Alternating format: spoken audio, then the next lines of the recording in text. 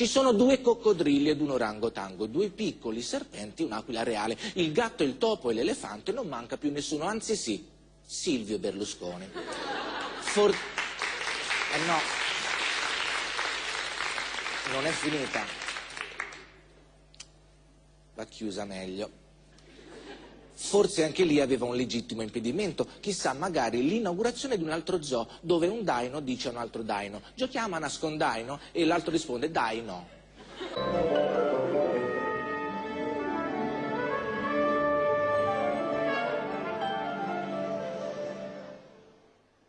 Lo scandalo della protezione civile, l'ennesima riforma della giustizia, il ritorno del nucleare, eh, del processo Mills, eh, ci sarebbe veramente l'imbarazzo della scelta. Ma è inutile parlare agli italiani. Chi già sa le cose si fa il fegato marcio, chi non le sa non gliene frega niente di saperle. E così finisce come tutti i programmi di satira, un farsele e dirsele inutile perché tanto non cambia un c***o. Eh, volevo dunque approfittare per anticiparvi alcuni passaggi del mio nuovo spettacolo, cui seguirà il libro, che sarà l'anticipazione allo spettacolo, e il relativo DVD, e poi il libro, finché non prenderò per sfinimento la SIAE. Berlusconi ha detto che il primo docente della scuola del pensiero liberale sarà Putin. Come bidello si parla di Giuliano Ferrara, mentre Goldrake ha detto che ci vuole pensare ancora un po'. Qual è la cantante italiana preferita da Bin Laden? Mina.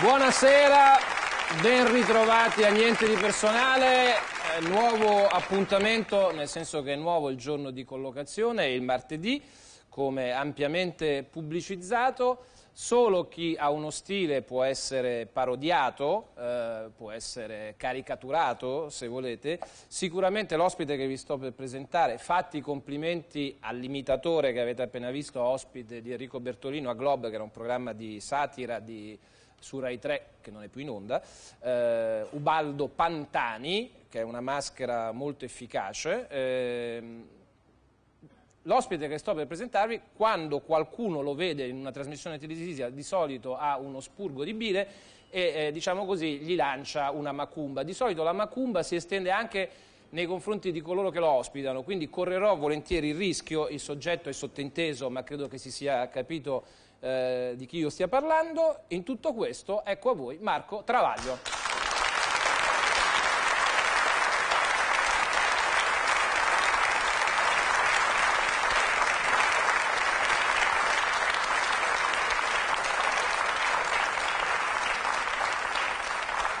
Buonasera. Buonasera.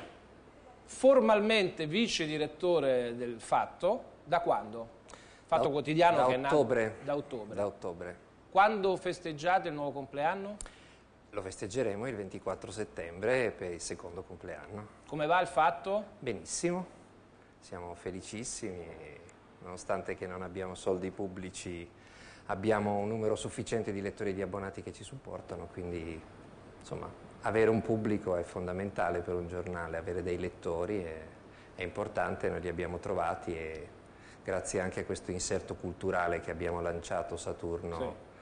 Abbiamo aumentato le vendite, il sito online va bene, ormai ha superato i 400.000 contatti unici al giorno, quindi basta autopromozione, ma insomma Bene. va bene. ecco, Avete vampirizzato altri giornali che si rivolgono a un lettorato, un elettorato di sinistra o di centrosinistra? No, eh, a, Cioè, parte de- che... tra- tradotto, altri giornali hanno perso copie a vostro favore oppure ha aumentato il bacino di lettura? Forse le avevano già perse prima eh, le copie. Eh, da quello che ci risulta, più che rubare lettori ad altri, abbiamo acchiappato un sacco di persone che non leggevano mai o che non leggevano più o che non avevano mai letto. Eh, molti giovani che non si avvicinavano nemmeno a distanza alla stampa quotidiana, eh, eh, un pubblico internettaro molto cospicuo. Eh, infatti abbiamo moltissimi abbonati online mm, che si scaricano il giornale dalla mezzanotte della sera prima e, e se lo leggono. Io li invidio molto, io non riesco a leggere il giornale sul computer, però pare che ci si riesca, essendo Bene. più giovani. Eh, non legge sul computer, quanti articoli scrive eh, mediamente in una settimana Marco Travaglio? Minimo uno al giorno, a volte capita anche due. Questo per il fatto? Eh, per o, il- o- o media generale, visto Beh, che ha altre per- collaborazioni anche? Sì, io scrivo anche sull'Espresso e su A e poi faccio la rubrica danno zero. Quindi sì, in media otto pezzi alla settimana, salvo quando per il fatto devo farne due. In tutto questo ha tempo per la vita privata? Sì, Se- nel senso che non voglio indagare sulla sua vita privata, non, dico... molto, ah, non dai, molto, ma ce l'ho.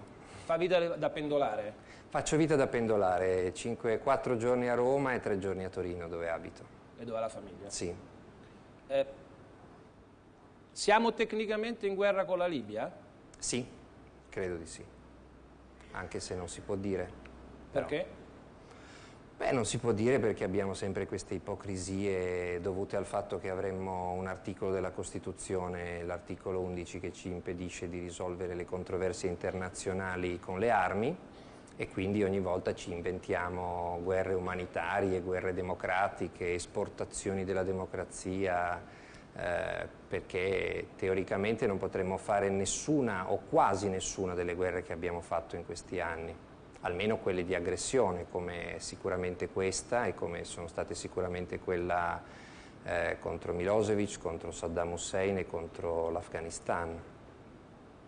Lei ha capito se i nostri aerei, quelli che sono decollati nella notte, fra- glielo- è un riferimento specifico perché mi è capitato di vedere nel cuore della notte fra domenica e lunedì un esponente dell'aeronautica militare, perché non so come altrimenti definirlo, non so il grado perché aveva una serie di alamari, C'è un stelletti, ufficiale. un ufficiale, il quale, intervistato nottetempo al ritorno della prima missione aerea, ha detto, con una frase che mi ha lasciato di stucco, ma sono tornati tutti sani e salvi? Dice sì sì, missione perfettamente riuscita. Domanda, scusi, ma che missione? E se io non ho capito male, ma mi pare di aver capito benissimo, la prima versione d'amblè dell'ufficiale è stato neutralizzare gli impianti degli avversari. Sì. Poi, se non ho capito bene, però, eh, questa diciamo, versione data eh, su a sponte in modo totalmente naturale è stata leggermente corretta. Sì, Berlusconi ha detto che i nostri caccia non eh, sparano. Evidentemente fanno talmente paura che appena la gente li vede, non so, si suicida eh, o neutralizza eh, le postazioni spontaneamente. Ci facciamo bu eh, e loro evaporano. Non so a che cosa servono i caccia se non a sparare. È chiaro che, come sempre avviene, ci stanno prendendo per il culo, si può dire? Tanto in diretta non la posso bippare anche se volessi, ma non volevo, quindi... Diciamo per i fondelli. Per i fondelli, sì, per i fondelli. Beh, era già successo, io ricordo quando per non scontentare Cossutta il governo D'Alema diceva che noi andavamo e venivamo ma non, eh, non sparavamo, insomma. Ah, lei, riferimento al Kosovo? Sì, eh, al 99. Nel 99, sì. Sì, sì, abbiamo una lunga tradizione, ma è un, è un tipo- un tipico modo di fare la guerra dicendo di non farla, di, di essere alleati contemporaneamente con i nostri alleati e con i nostri nemici, di trescare. Eh, stamattina proprio abbiamo pubblicato un pezzo di uno storico, Angelo Dorsi, che ricorda questo DNA volta gabbana che ha l'Italia soprattutto in tempi di guerra. Eh, fin dalla prima guerra mondiale noi trescavamo sotterraneamente con il nemico dopo esserci alleati con i nostri tradizionali nemici, no? Eh, abbandonando all'ultimo momento il nostro tradizionale alleato che era l'Austria e la stessa cosa poi è successa dopo l'8 settembre e, e ancora adesso, insomma, noi siamo, bacia- riusciamo a baciare la mano a uno e poi a bombardarlo il mese successivo, siamo fantastici, però dicendo che ci dispiace, eh, che siamo addolorati di bombardarlo. Eh, non escluderei che dopo averlo bombardato torneremo a baciargli la mano o qualcos'altro perché siamo fatti così. eh. Eh, qualcuno ha rilevato, devo dire più di qualcuno, che eh, su questa eh, vicenda, cioè la necessità o la decisione di intervenire mh, a supporto degli alleati nel momento in cui non si capisce neanche bene quale sia l'alleanza, nel senso che eh, Sarkozy ha detto la Nato è fuori, oggi Obama ha detto no no, la Francia e la Gran Bretagna sono d'accordo sul ruolo della Nato, eh, però qualcuno ha rilevato come da parte dei commentatori eh, che hanno preso in passato posizioni su vicende belliche, a cominciare dall'Iraq ovviamente l'ultima, c'è stata un'inversione, cioè coloro che si riconoscerebbero in posizioni di destra che sono in questo momento sul fronte del no, per carità, fermiamoci in tempo, tiriamo il freno a mano, che cosa stiamo facendo, e la sinistra, termine che è un ombrello sotto il quale rientrano tante categorie diverse, che invece si è ritrovata d'accordo sulla necessità in qualche modo di diciamo così, ridimensionare il dittatore Gheddafi. Oggi sui giornali c'erano due interventi, uno di, sul Corriere della Sera di Bernard Rilevi, eh, filosofo francese, che rivendicava mh, il suo ruolo di consigliere di Sarkozy per l'intervento, sì. e su Repubblica Daniel Combendit, che è stato un esponente del maggio francese, della rivolta contro il potere costituito, che se la prendeva con i pacifisti anche nostrani dicendo... Vendola Vendola in primis, non scendete in piazza adesso perché non è il caso di scendere in piazza, semmai se proprio volete scendere in piazza dovevate scendere in piazza anche prima quando Gheddafi massacrava i civili libici. È per un lettore normale è una situazione piuttosto sana, non si capisce più qual è la destra e qual è la sinistra. Sì, da un lato la sinistra ha sempre avuto questa posizione formalistica per cui se l'ONU è d'accordo va bene qualunque cosa decida l'ONU, anche se poi l'ONU è semplicemente l'insieme de, degli stati forti del, del, Consiglio di sicurezza, non è un'entità astratta o divina. Dall'altra parte... Scusi se la interrompo, questa è la posizione diciamo, anche istituzionale del Capo dello Stato, esatto. che ha detto Beh, c'è la decisione dell'ONU. Esatto, anche se come giustamente scrive il generale Mini, l'ONU non ha imposto a nessuno di attaccare, ha detto se volete farlo potete farlo ma non è che ha detto fatelo eh, e non ha stabilito cosa, chi dovesse farlo e in che forma dovesse farlo, ha stabilito semplicemente dei paletti per chi volesse farlo. È perfettamente legittimo farlo come stiamo facendolo noi, come è legittimo anche non farlo come sta facendo la Germania. La, questa storia della, del, del, del, cercare la Nato eh, per togliere potere a Sarkozy, come sta facendo il nostro governo, un po' penosamente, è un'altra ipocrisia perché la Nato mh, ha dentro di sé la Turchia, per esempio, che non ci sta eh, a questa roba qua. Eh, quindi eh, diciamo che è una corsa all'ipocrisia, è abbastanza divertente, infatti io ho scritto il pezzo per domani sul fatto eh, vedere i neopacifisti di destra, perché si vede che si impegnano no, per sostenere la pace, però non sono, non sono allenati, non, si applicano ma gli mancano le parole proprio, non riescono, dicono le stesse cose che dicevano i pacifisti a proposito della guerra dell'Afghanistan e dell'Iraq, cioè dicono ma perché attaccare questo dittatore e non tutti gli altri? C'è Ahmadinejad che è molto peggio di Gheddafi, perché non lo attacchiamo? È la stessa cosa che si diceva dal fronte pacifista a proposito di Saddam Hussein. Oppure dicono ma Gheddafi è un laico rispetto al fondamentalismo islamico. Certo. Rischiamo di aprire il vaso di Pandora e di trovarci un regime eh, fondamentale. È la stessa cosa che si diceva dicendo beh teniamo lì eh, Saddam Hussein, ogni tanto lo spaventiamo, ma teniamolo come argine. Eh, dicono esattamente, dicono, eh, siamo, i francesi vogliono il petrolio e il gas non vogliono mica difendere la gente, è la stessa cosa che, che dicevano diceva i pacifisti a proposito dell'impegno americano eh, per il americano, petrolio, inglese, eccetera, in Iraq. Posso rilevare una cosa che magari eh, dire, riguarda soltanto me. Non ho sentito nessuno, né di destra né di sinistra, però quando in Ruanda, esatto. nel giro di 100 giorni, morirono un milione di persone a colpi di macete e di quant'altro, macete e di colpi di pistola quando erano fortunati, perché spesso si narra eh, veniva offerta l'opzione morire con un colpo di pistola o morire col macete, di solito si preferiva in quel caso la pistola. Ecco, non mi ricordo né mh, autorevoli esponenti di destra né di sinistra dire sarebbe il caso di intervenire militarmente per far finire il genocidio. Ma eh, il Ruanda aveva il grave difetto di non avere petrolio evidentemente, quindi la missione umanitaria ha perso interesse lì. Eh, Purtroppo è così. Io mi accontenterei che, valutata la legittimità internazionale, che sicuramente dall'ONU ci si preoccupasse del proprio interesse nazionale. Io ancora non ho capito che interesse nazionale avevamo noi in Afghanistan o in Iraq, mentre capisco che ce l'avessero gli americani e gli inglesi. Chiaro che noi in Libia ce l'abbiamo l'interesse nazionale, il problema è che non abbiamo ancora capito chi vince tra Gheddafi e i ribelli e quindi noi eh, per interesse nazionale stiamo sia con Gheddafi sia con i ribelli un giorno con i, con i ribelli, un giorno con Gheddafi. Quando Bossi sta con Gheddafi, Berlusconi sta con i ribelli, quando Bossi passa con i ribelli, Berlusconi sta con Gheddafi. È, una situazione che non rende molto credibile il nostro paese, ma insomma non è la prima sì, volta. Diciamo che Bossi ha usato una delle sue espressioni colorite perché ha parlato di francesi citando Napoleone, sì. ha citato gli altri, dice noi invece abbiamo sempre il solito nostro ruolo che è quello alla fine di prendercelo in quel posto, mm. che è una fotografia piuttosto rude ma piuttosto in sintonia direi con eh, il personaggio. Prima di scoprire le, le nove domande che più la riguardano direttamente, le chiedo solo una cosa, eh, Giappone.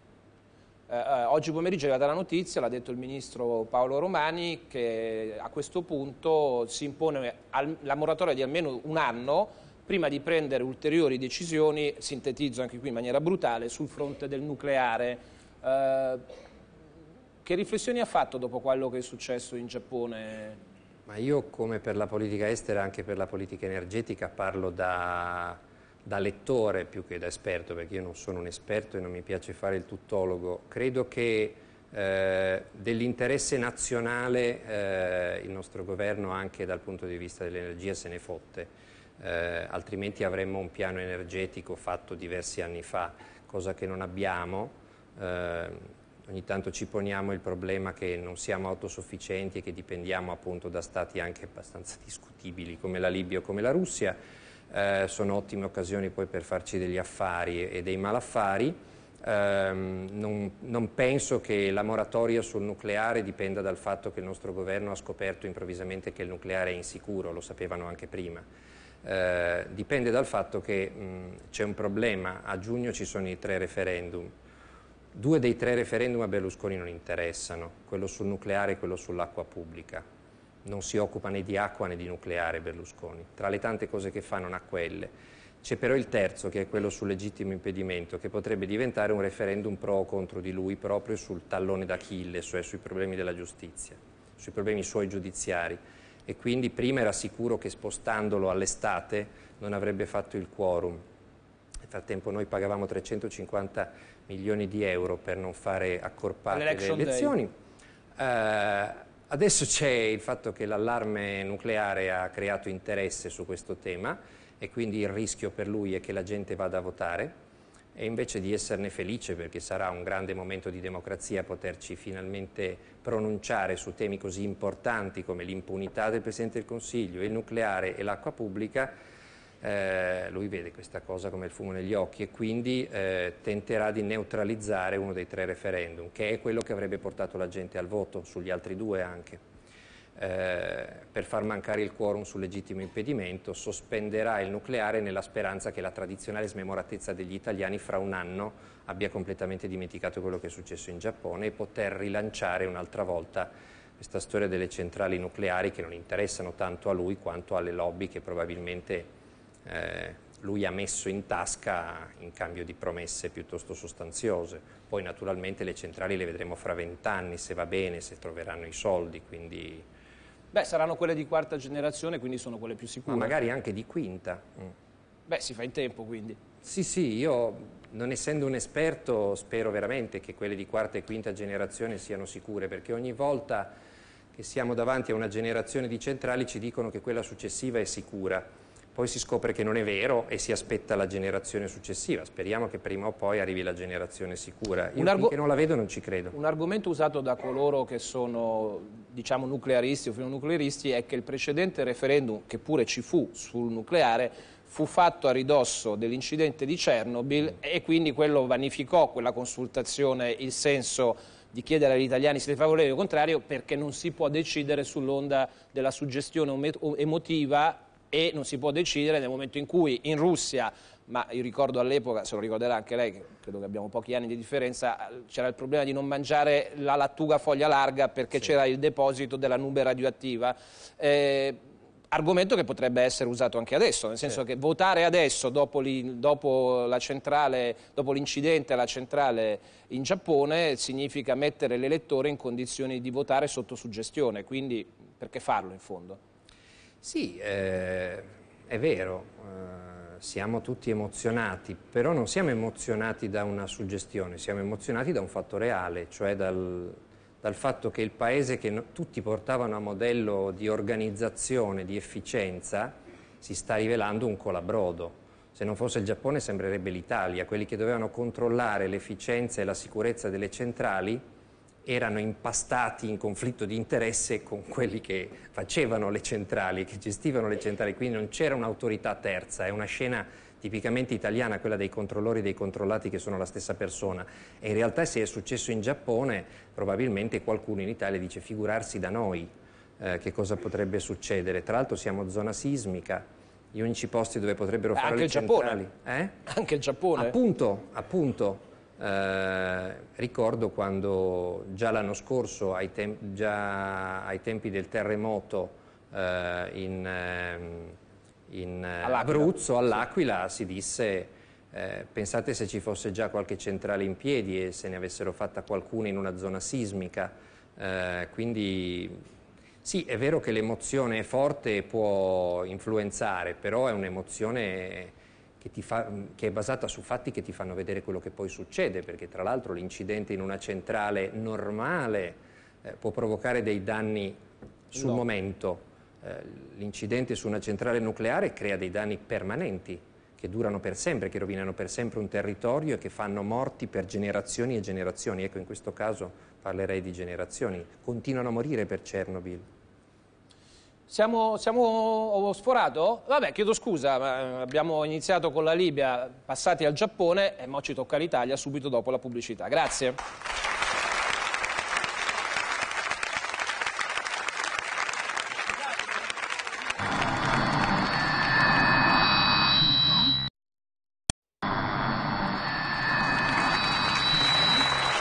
Bene, Travaglio, posso vedere con l'ausilio della regia Lombardino e tutta la squadra, bocca al lupo, grazie. Mi fate vedere il mosaico così può cominciare Travaglio a chiamare i suoi numeri, che tanto scopriamo tutti, e così.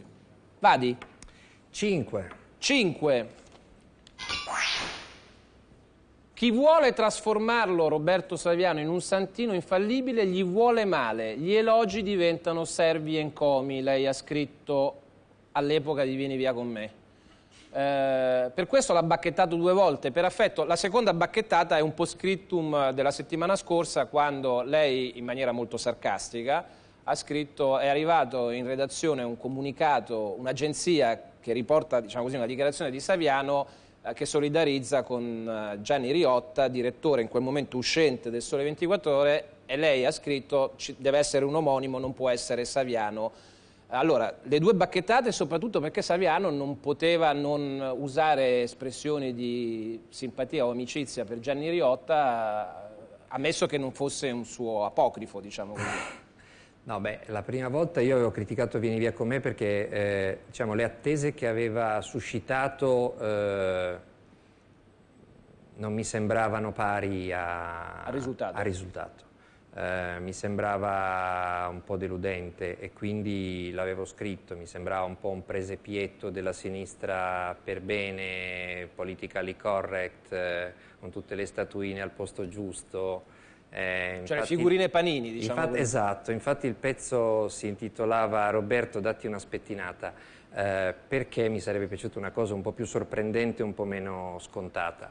Ehm, Ma secondo lei questo era perché Saviano è così o perché è ammaliato dallo stile di Fabio Fazio che invece passa per essere un beltroniano, tra virgolette, quindi uno che fa le figurine panini per definizione?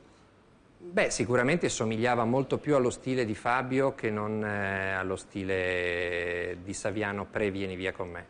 Eh, la seconda, eh, beh, insomma, dire che Riotta veniva mandato via dal Sole 24 Ore perché era un giornalista libero in viso al potere che aveva fatto grandi battaglie antimafia, io francamente mh, se le ha fatte mi erano sfuggite ed erano sfuggite soprattutto alla sua redazione che infatti se n'è un po' presa per quel comunicato di Roberto Saviano. Dopodiché Saviano è amico di Riotta, quindi è ah, legittimo che, che l'abbia difeso. Eh, forse così- faceva riferimento alle prese di posizione del presidente di Confindustria Sicilia Lobello, che è quello del non, non accettiamo tra i nostri iscritti coloro che eh, accettano i ricatti da parte della mafia, si prestano a essere vittime di estorsioni, quindi complici del sistema di Cosa Nostra. Poteva essere questo? Sì, può essere, ma infatti se avessero cacciato Lobello avrebbe avuto ragione Saviano. Eh, il fatto che si mandi via un direttore il cui giornale ha perso 50.000 copie in due anni credo che ci possa anche stare. Ecco. Un altro numero. Eh, tre. Tre. Mi mette tristezza mh, quando penso a, a che cos'era la Lega dei tempi d'oro. Io nel 96 l'avevo pure votata, ci rinfresca la memoria? Eh, sì. Nel 94, quando Berlusconi è andato ah, a... Faccio una, una, doverosa precisazione per chi, chi ci sta guardando. Eh, molte delle domande, tutte le domande fanno riferimento a episodi, cose che riguardano Marco Travaglio, grazie anche a questo libro che è uscito in seconda edizione, cioè il rompiballe un anno dopo con cinque nuovi capitoli fatti da, da quel bandito vero che di nome fa Claudio Sabelli esatto. Fioretti. Eh, sì, era successo questo, che nel 94 Berlusconi era andato al potere, tra l'altro avevamo avuto un problemino al giornale perché pretendeva che il giornale diventasse quello che poi è diventato, quindi ce ne siamo andati, Montanelli e 50, ultimo dei quali io, a fondare un altro giornale che si chiamava La Voce e io in quel momento ho fatto un giuramento, ho detto chi lo butta giù io lo voto. Sette mesi dopo l'ha buttato giù Bossi.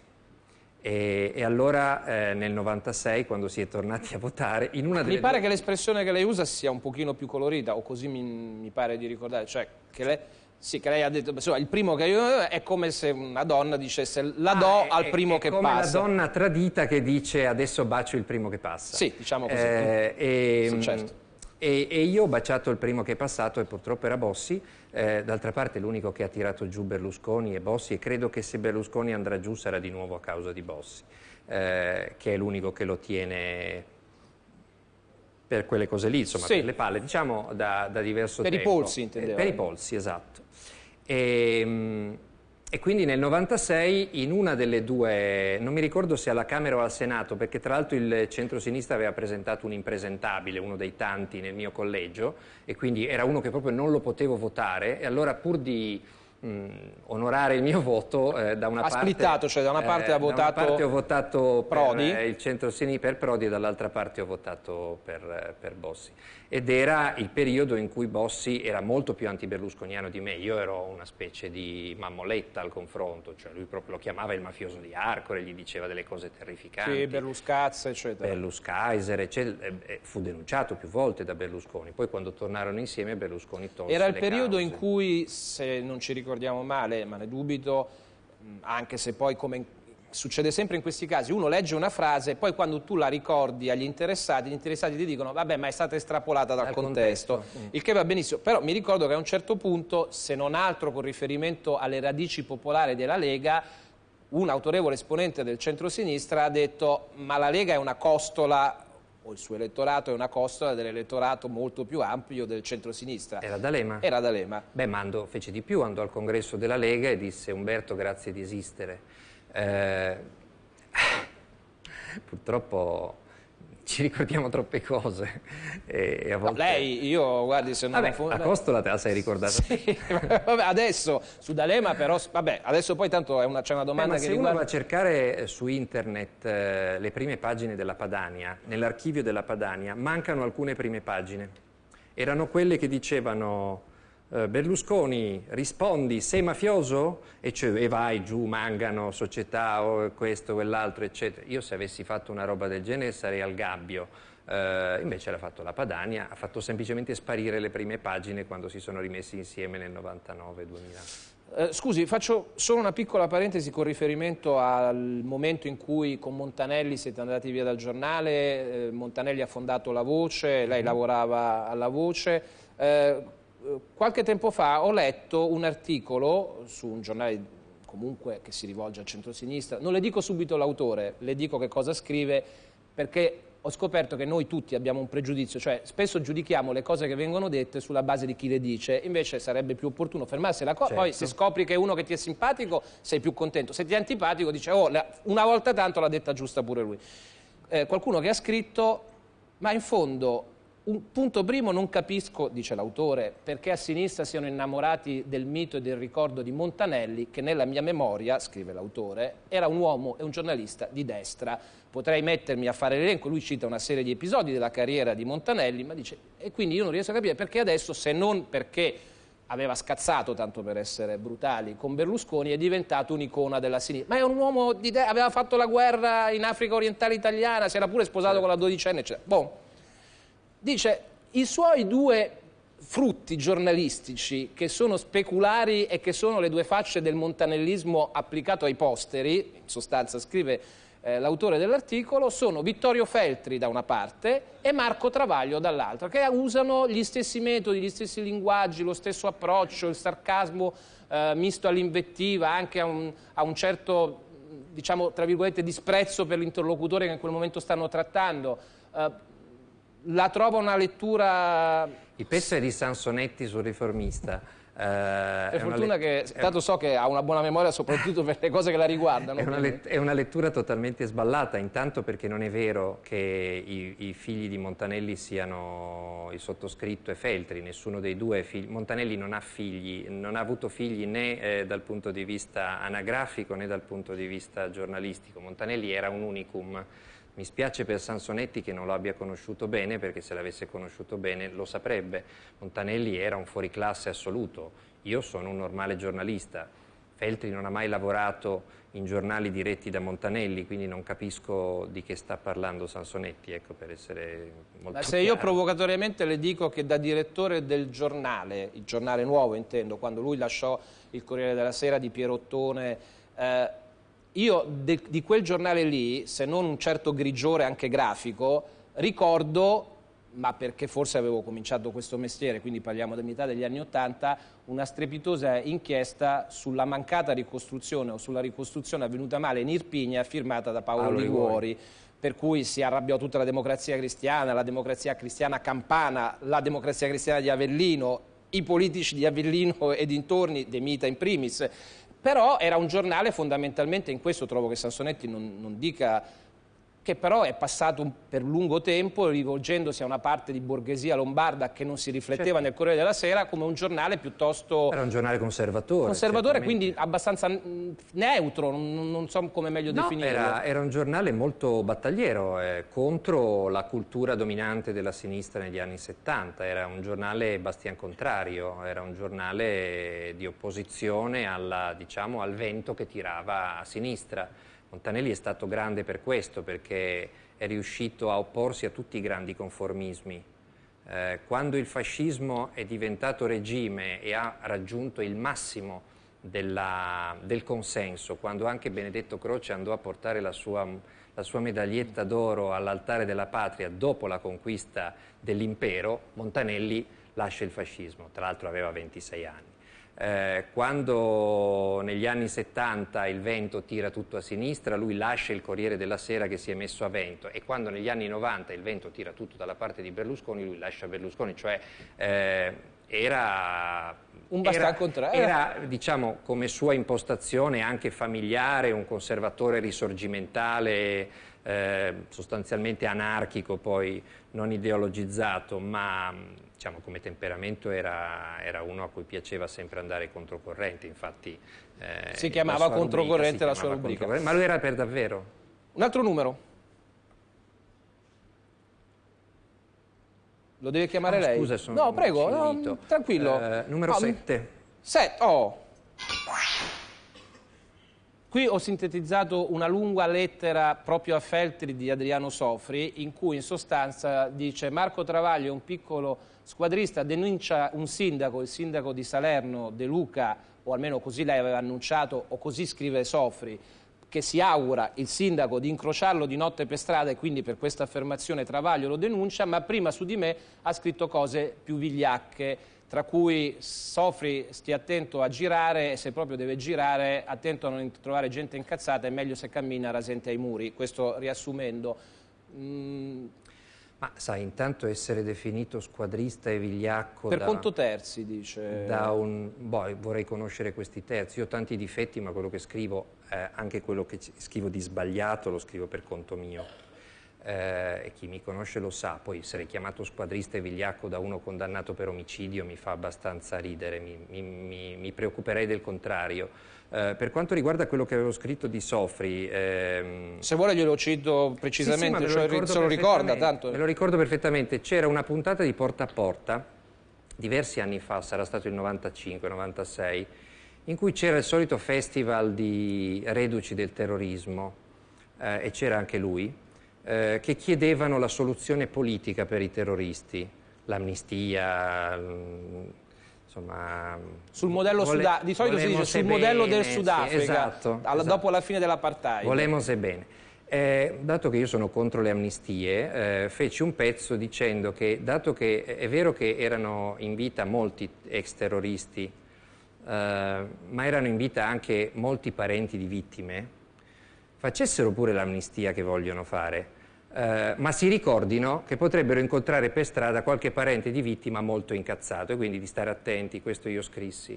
Perché io devo dire che io tra le vittime e, e i carnefici eh, scelgo eh, sarà un mio difetto, sarò fatto male, scelgo le vittime e che eh, a proposito delle riletture sugli anni di piombo non vengono quasi mai considerate, forse nell'ultimissimo periodo grazie ad alcuni libri eh, di Benedetta Tobagi, di Mario Calabresi, di alcuni altri, ma prima gli unici che parlavano erano quelli che sparavano eh, e quindi lo scriverei esattamente eh, a, a, a, condizione data, riscriverei esattamente lo stesso pezzo. Non c'era niente di vigliacco, dicevo semplicemente di piantarla, di pontificare.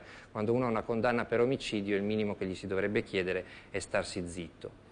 Eh, lui, lui, ricorda e ribadisce sempre, ma io sono innocente. Ah, ma le carceri sono piene. Se tu entri in carcere e chiedi, lei ha fatto qualcosa, dice no, io sono vittima di un complotto. È rarissimo trovare gente che ti viene incontro e dice sono stato io.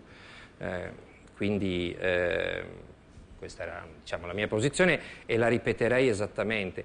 Altra cosa era quel sindaco De Luca, De Luca eh, che, che, ha detto, detto se incrocio, voleva, vorrei incrociare Travaglio di notte in una strada. Sì.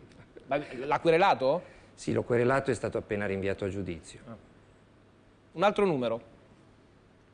Suo, lo deve chiamare lei Travaglio. Sì, ma vedi che sono rimbecillito. Sì, no, questi, numero quelli 9. chiari, quelli illuminati. Allora, quelli numero spenti 9. li abbiamo fatti. Numero 9 anche regia però. Staino, Beria Travaglio, mi lascia perplesso l'atteggiamento di fondo, vede ovunque Travaglio, inciuci e intrallazzi, è qualunquista, giustizialista esagerato, non un uomo di sinistra.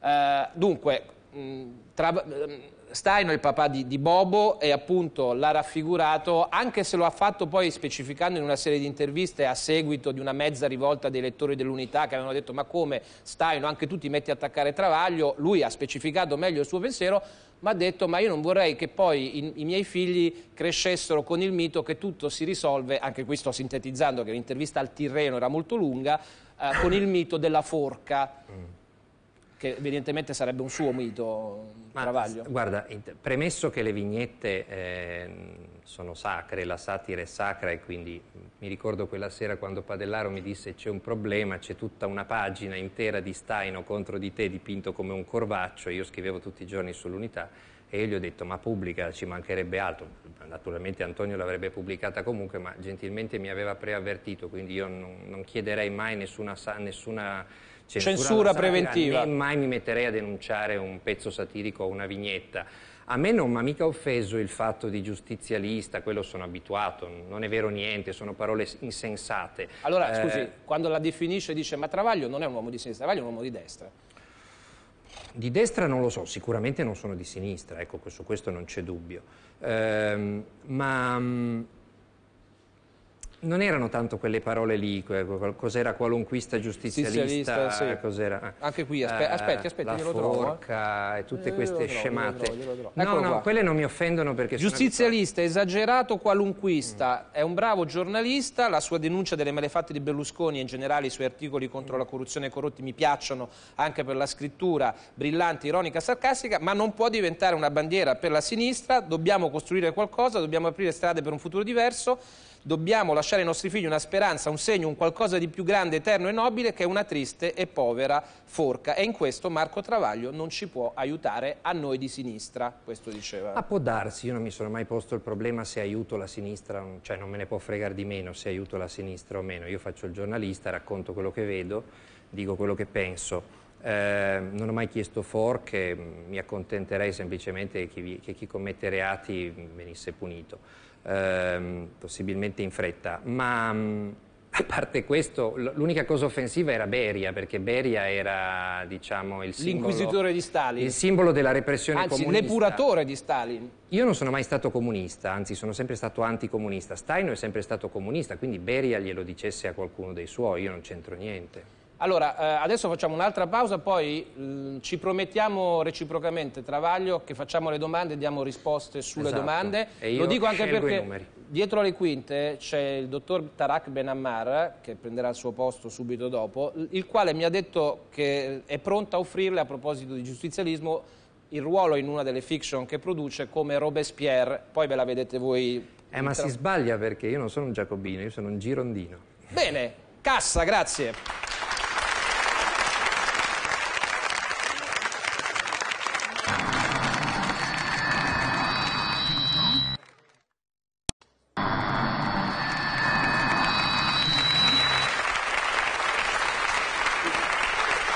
Allora, durante la pausa pubblicitaria Tarak Benammar ci ha mandato a dire ma dovete chiarire questo passaggio sul giacobinismo e il girondismo, perché se no non si capisce. Vuole... Eh, schematicamente, eh, io sono per l'indipendenza del pubblico ministero dal potere politico, cioè sono per mantenere la Costituzione così com'è. Berlusconi e tutti quelli che vogliono riformare i magistrati li vogliono mettere sotto il controllo politico, diretto o indiretto, come avviene in Francia dove le procure sono sotto il governo. E perché in Francia è così? Perché la Francia ha ereditato dalla rivoluzione francese, dai giacobini e poi dal modello napoleonico il fatto che il pubblico ministero è il braccio armato del governo. A me questa cosa non piace, non mi, non mi sembra garantista e quindi eh, Non è giacobino. qualcuno si stupirà, da garantista io sono girondino, non giacobino, perché erano i girondini che volevano l'indipendenza della magistratura dal potere politico. Voilà. Eh, prego, i Numero numeri. uno. Uno. Cercava Lucia Annunziata un'aureola di martire per rifarsi una verginità dopo la censura di Rai 8. Purtroppo mi fa dar ragione a Silvio Berlusconi. Alt.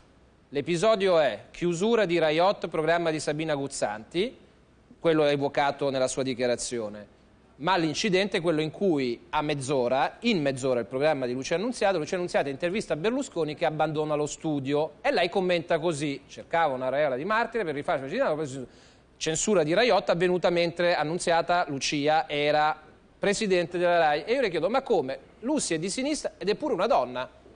Il fatto che sia di sinistra non vuol dire niente. Niente. Il fatto che sia una donna nemmeno, nel senso che secondo me la, la parità dei diritti si raggiungerà quando si potrà criticare una donna senza sentirsi dire ah ma è una donna. E beh, anche le donne sbagliano se Dio vuole, come noi maschietti. Eh, secondo me lei fece due errori, uno molto grave, eh, avallare la chiusura di Raiot da presidente della RAI.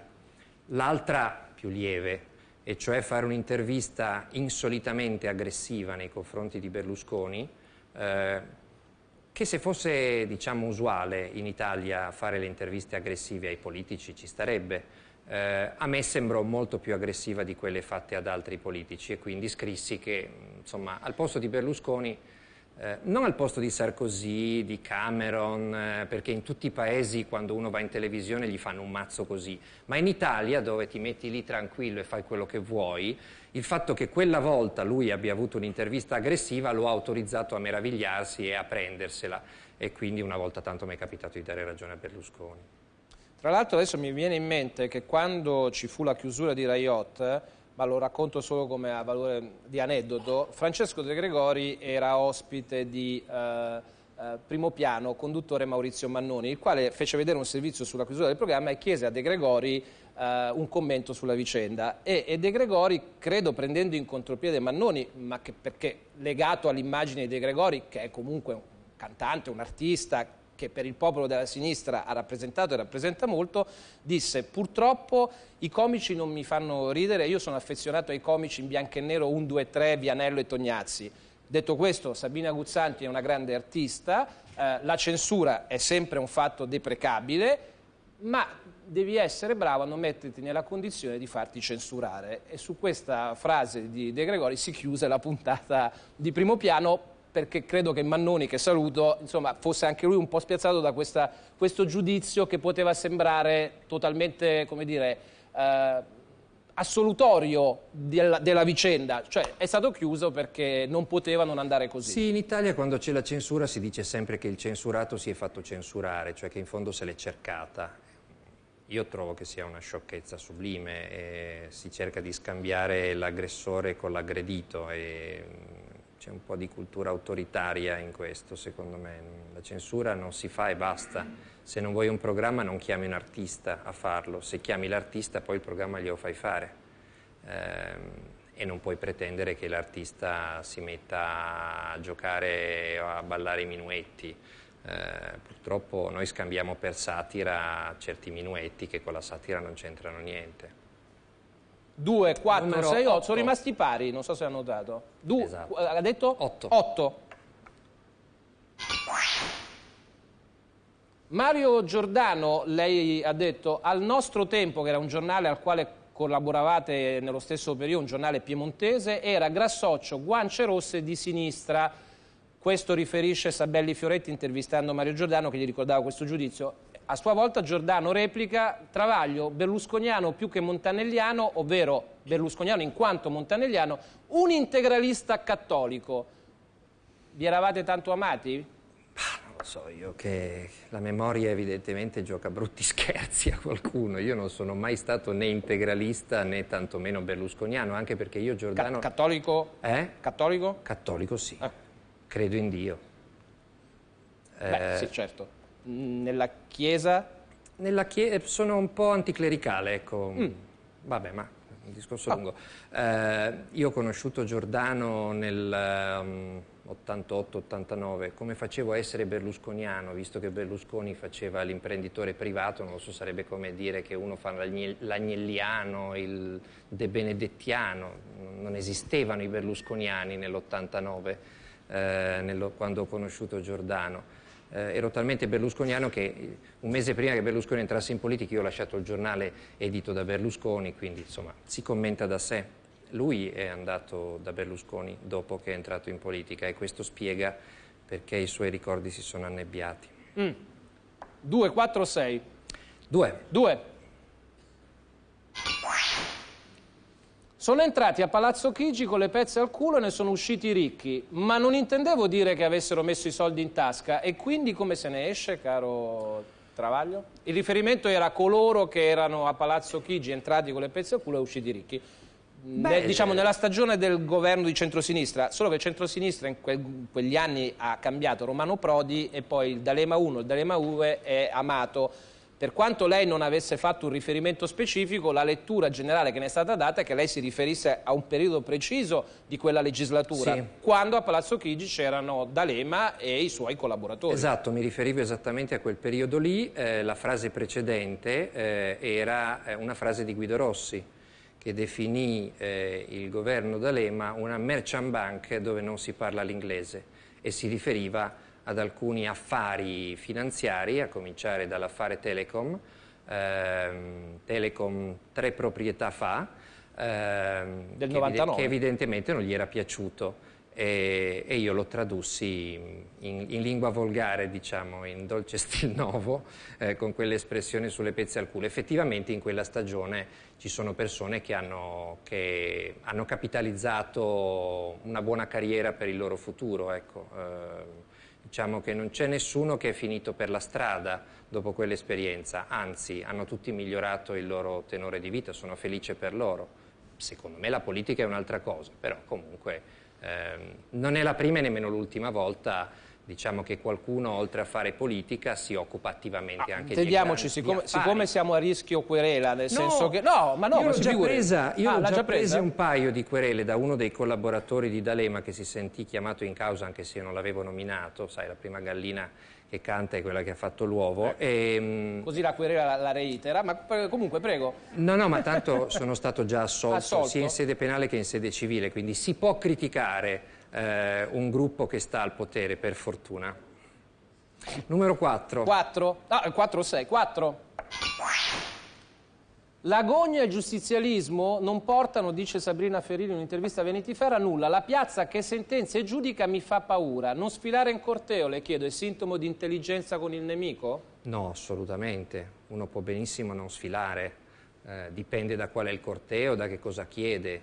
Eh, certo è che se nel corteo si chiede di fucilare qualcuno, di impiccare qualcuno, non ci vado neanch'io in quel corteo. Se invece si fanno... Io le manifestazioni a cui ho partecipato non erano delle sfilate. Io quando sono andato in piazza o, o ad ascoltare o a parlare era era perché si facevano dei momenti di, di, di, di informazione, c'erano delle persone che parlavano e raccontavano delle cose eh, e dicevano delle cose e si facevano sentire, in quel senso le manifestazioni sono utili. Le manifestazioni, ha ragione la Ferilli, che, che urlano alla forca, a me non sono mai piaciute, non ci sono mai andato, ma ne ho viste anche abbastanza poche, devo dire, perché io tutte ste forche, a parte quella che in Parlamento sventolò un leghista nel il 92, cappio, altre non ne ho viste. Numero 6. Beh, bravo, chissà perché. Hai visto? Sì. Alla fine abbiamo... Allora, Beppe Grillo contro De Magistris, Di Pietro contro Tranfaglia che ha annunciato querela, prima Di Pietro contro Chetto, poi contro Giulietto Chiesa, Giulietto Chiesa contro uh, Di Pietro, Veltri, Elio versus Travaglio perché a un certo punto ha detto Veltri che era tornato in libreria l'odore dei soldi riscritto senza che nessuno gli avesse detto niente, insomma ammesso siate tutti di sinistra, lei ha già specificato che lei non c'entra con la compagnia e non so neanche Di Pietro a questo punto, le chiedo ma chi sono i compagni che sbagliano in questa allegra... Ma non sbaglia nessuno, sono, sono, quasi tutti dei caratteri, delle persone di carattere che hanno un pessimo carattere e che quindi spesso non vanno d'accordo fra di loro. Di Pietro è leggendario nel, diciamo, nel mettersi in casa persone con le quali poi litiga. Ehm, è leggendario anche per non riuscire mai a lavare i panni in famiglia, per cui qualunque spiffero capiti a casa sua viene fuori subito da tutte le parti. Eh, il caso di Tranfaglia, l'ultimo, è, è, abbastanza eh, sintomatico. Non credo che Tranfaglia sia l'unico intellettuale che si è trovato male in un partito, credo che sia successa la stessa cosa anche per alcuni intellettuali che erano stati presi in quella mega assemblea del PD, che poi se ne sono andati perché hanno capito che la cultura lì dentro era piuttosto, diciamo, pleonastica. Eppure eh, la cosa non è venuta fuori. Eh, credo che sia, che sia, giusto che le cose vengano fuori e credo che, che, sia giusto che i caratteri, quando a un certo punto sono incompatibili, eh, si scazzino.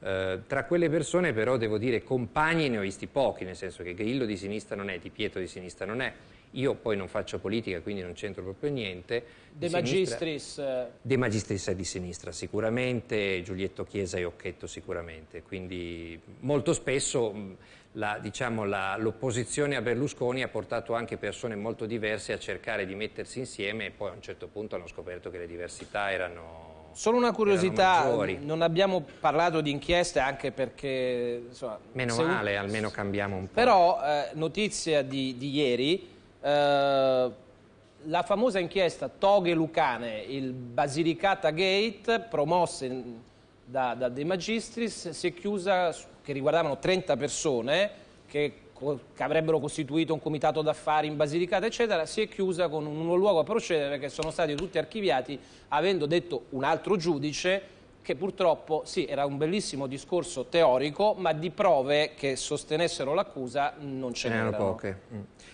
Ma sai, io non ho ancora letto quel decreto di archiviazione, quindi me lo leggerò molto attentamente. De Magistris non ha fatto un plissé, cioè non ha commentato, almeno fino a stasera mi pare... No, ma lui non, non ha commentato nemmeno, nemmeno le, le, altre vicende, Why Not e Poseidone, dove invece, a differenza di questa indagine, per alcune posizioni si è arrivati a rinvio a giudizio, forse anche addirittura già a condanne di primo grado, dovrei controllare ma credo che faccia bene, lui ormai fa un altro mestiere, se, se, se dovesse entrare nel, in quelle vicende che cosa dovrebbe dire? Dovrebbe dire che i suoi indagati secondo lui erano colpevoli, cioè mh, non sarebbe corretto.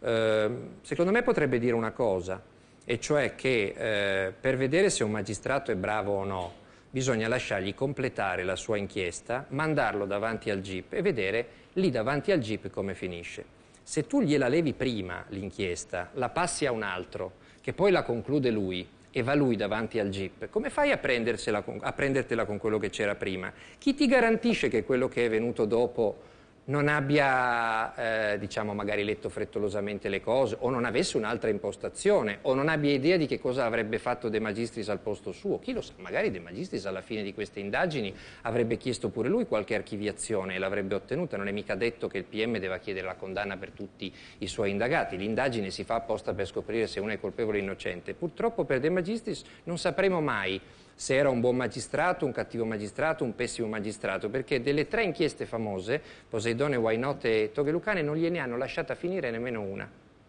gliene hanno tolte due e la terza stava scrivendo le con richieste qualche, di rinvio con qualche giudizio. rilievo financo disciplinare è stato Eh, il CSM gli ha addirittura sta- eh, lo ha addirittura punito stabilendo che non poteva mai più fare il PM, per questo lui è andato in politica.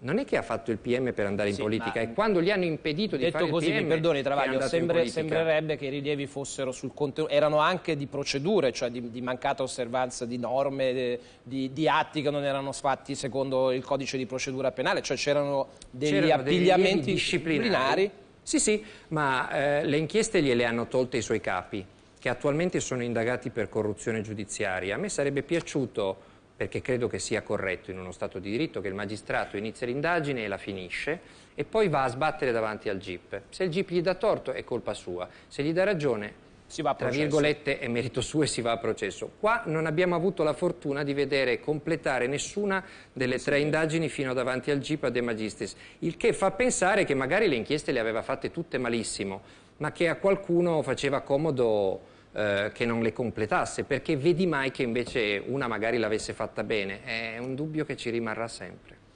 Grazie a Marco Travaglio, il quale compare in un film di prossima uscita venerdì 26 che si intitola Silvio Forever, fatto da Roberto Faenza con eh, Sergio Rizzo e Gian Antonio Stella. Questa è la conferenza stampa oggi di presentazione. Grazie, vediamo.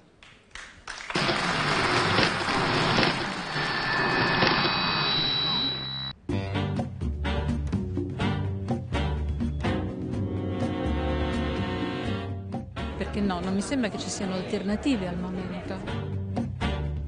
È comunque la risposta, speriamo di no. Per me sì, Silvio Forever e spero che vinciamo di nuovo le elezioni. di una bontà, di una generosità, io penso che tutti lo dicono, no? e forse l'unico. Ognuno può avere, ripeto, la sua opinione, non si può. Non è un personaggio banale, è un personaggio formidabile, la commedia dell'arte. Da bambino mi piaceva dipingere e andavo matto per i burattini. Li intagliavo nella corteccia di pino e poi li pitturavo. Scrivevo il copione e facevo tutte le voci.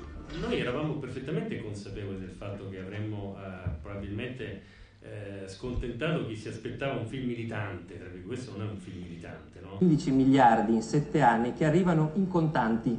115 miliardi dell'epoca che dell'epoca sarebbero che sarebbero sui 500 di oggi. Esatto. Provenienza sconosciuta. Non c'è Ma- ma io- nessuna storia, ecco, però me lo lasci dire perché Certo. è importante, più trasparente e chiara della mia. Non ci interessava andare a massaggiare le convinzioni degli antiberlusconiani, né andare a massaggiare le convinzioni dei berlusconiani. no? Io non mi considero un nemico di Berlusconi, perché se lui ritiene Berlusconi di dividere il mondo in quelli che sono eh, che lo adorano o in quelli che gli sono nemici, io mi chiamo fuori. Scusi se mi cito, ma una volta io ho scritto con un po' di malizia che se lei avesse un puntino di tette farebbe anche l'annunciatrice. Ho l'impressione che lei faccia un po' tutto, adesso mi sta dicendo edilizia, televisione, editoria. Come fa ad avere tante attività che vanno tutte bene? Cosa vuole che, rispo- che le risponde? Che siamo bravi.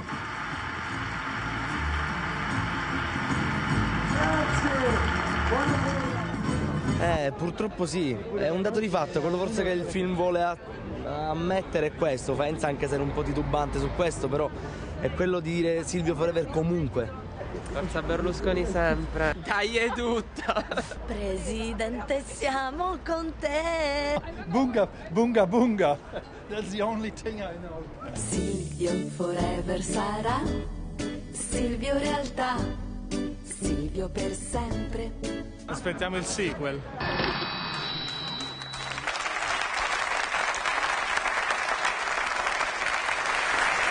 La mia doppia vita.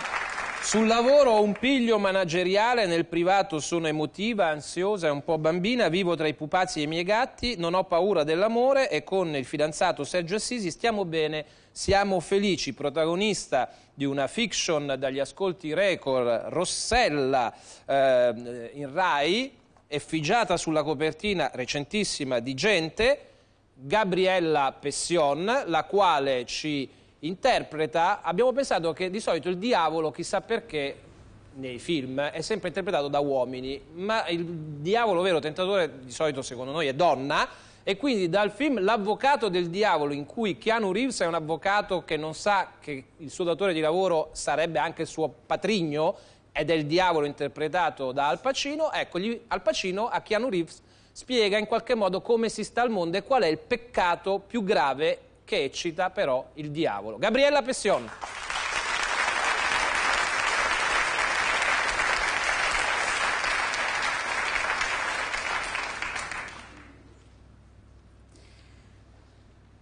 Hai ragione su una cosa, caro Kevin. Io ti stavo osservando. Osservo e aspetto. È più forte di me, non ne posso fare a meno. Ma non sono un burattinaio. Io non faccio succedere le cose. Non è così che funziona. Come si chiama? Ah, già. Il libero arbitrio. Io preparo solo la scena e i fili. Te li tiri da solo.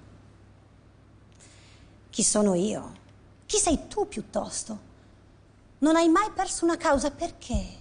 Perché sei un grande avvocato? Ah. È un bel primato, certo, ma prima o poi doveva finire.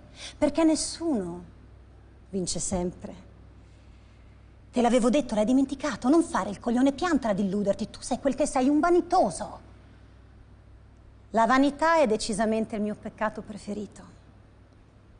È elementare, Kevin, la vanità è l'oppiaceo più naturale. Per esempio, non è che non ti importasse niente di tua madre o tua moglie, è solo che tu eri un po' più impegnato con un'altra persona, Kevin, con te stesso. Ma non essere troppo duro con te ora. Tu volevi qualcosa di più. E non puoi continuare ad autopunirti per questo, Kevin. Io non ti ho facilitato, non potevo. Il libero arbitrio. Ricordi? Io voglio che tu sia te stesso, lascia che te lo dica, figliolo. Il senso di colpa è come un mattone, come un sacco pieno di mattoni, non devi fare altro che scaricarlo. Per chi è che ti incolli tutti quei mattoni? Si può sapere. Dio? È così?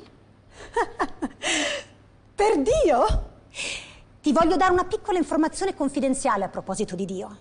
A Dio piace guardare, è un guardone, è un guardone giocherellone. Riflettici un poco. Lui dà all'uomo gli istinti. Sì, lui dà all'uomo gli istinti, ti concede qualche straordinario dono e poi che cosa fa Dio? Te lo giuro che lo fa per il suo puro divertimento, per farsi il suo bravo comico spot pubblicitario del film. Fissa le regole in contraddizione. Una stronzata universale. Guarda, ma non toccare. Tocca, ma non gustare. Gusta, ma non inghiottire.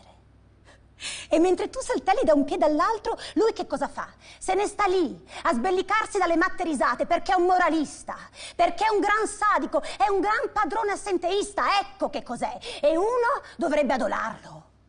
No, mai meglio regnare all'inferno che servire in paradiso, certo. E perché no? Io sto qui, col naso ben ficcato nella terra e ci sto fin dall'inizio dei tempi. Ho coltivato ogni sensazione che l'uomo, l'uomo è in grado di provare. A me interessava quello che l'uomo desiderava e non l'ho mai giudicato e lo sai il perché? Perché io non l'ho mai rifiutato l'uomo, nonostante le sue maledette imperfezioni. Io sono un fanatico dell'uomo, sono un umanista, probabilmente l'ultimo degli umanisti. E chi sano di mente potrebbe mai negare che il XX secolo è stato interamente mio? Tutto quanto, Kevin, ogni cosa, tutto mio. Io sono all'apice. E questo è il mio tempo. E questo è il nostro tempo.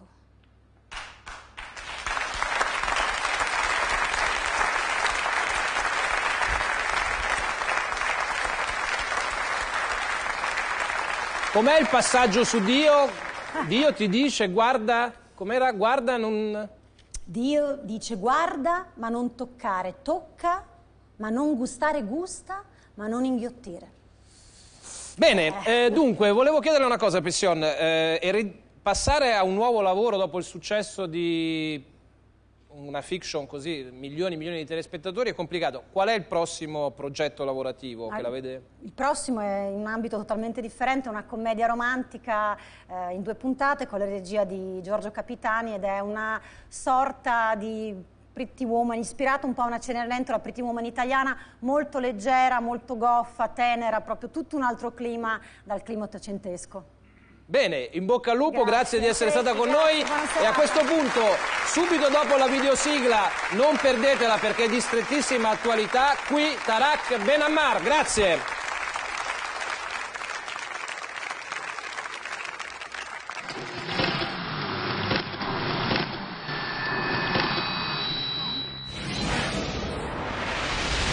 Le notti non finiscono all'alba nella via. Le porto a casa insieme a me, ne faccio melodia e poi mi trovo a scrivere chilometri di lettere sperando di vederti ancora qui. Inutile parlarne, sai, non capiresti mai.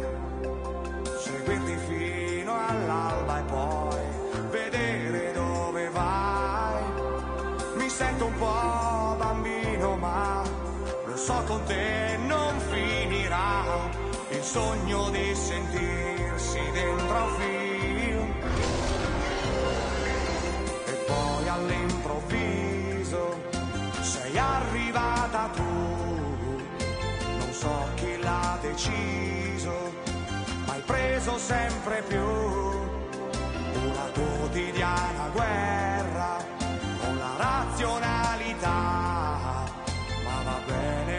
purché serva per farmi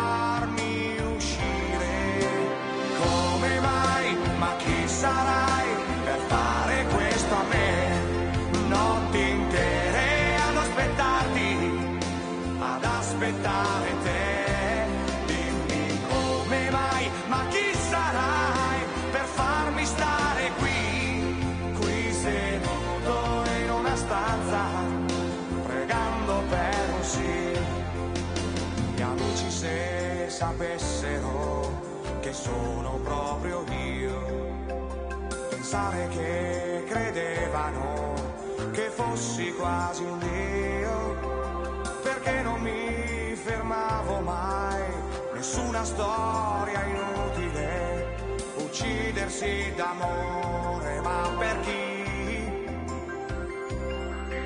Lo sai all'improvviso, sei arrivata tu, non so chi l'ha deciso, ma hai preso sempre più. Una quotidiana guerra con la razionalità, ma va bene purché serva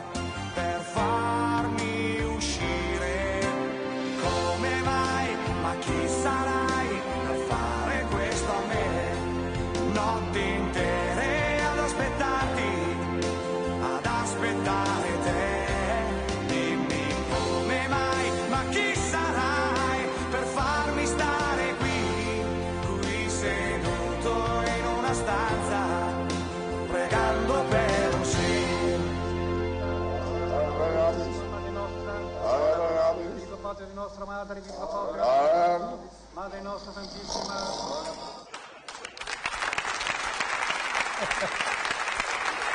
Alberto Sordi, dunque, aggiornamenti. La Francia cede sul ruolo della Nato in Libia e si dice d'accordo ad un comando dell'Alleanza Atlantica in sostegno delle forze della coalizione, che potrebbe però rientrare nel quadro di una struttura internazionalizzata a cui parteciperebbero anche altre nazioni che non sono parte dell'organismo atlantico. Ha detto all'ANSA il portavoce del Ministero degli Esteri francese, Bernard Valero. Siamo d'accordo per un comando della Nato in sostegno alle forze della coalizione presenti in Libia, ma intanto la versione online del settimanale tedesco Spiegel dice che la Germania si ritira invece dalle operazioni NATO nel Mediterraneo. Un portavoce del Ministro della Difesa ha annunciato che le due fregate e le navi con 550 soldati verranno riportate al comando tedesco. Vi do questi aggiornamenti per completezza di informazione come si dice in questi casi, ma a maggior ragione per introdurre e dare il benvenuto, ringraziandolo di essere con noi, che come al solito siamo in ritardo sui tempi, ma insomma, Tarak Benammar. Buonasera. Buonasera. Un imprenditore, un finanziere eh, che ha le sue imprese, che siede in molti consigli di amministrazione anche di aziende italiane, eh, fino a prova contraria, perché diciamo così, in questo momento il mercato italiano sul fronte delle grandi imprese, le ultime notizie riguardano la Parmalat che è oggetto di attenzioni da parte di un grande gruppo francese, anzi i francesi hanno fatto, o sbaglio, hanno fatto un bel po' di buoni affari in Italia. Fino adesso sì. Perché dice fino adesso? Beh, non si sa mai com'è nella vita, no? Eh.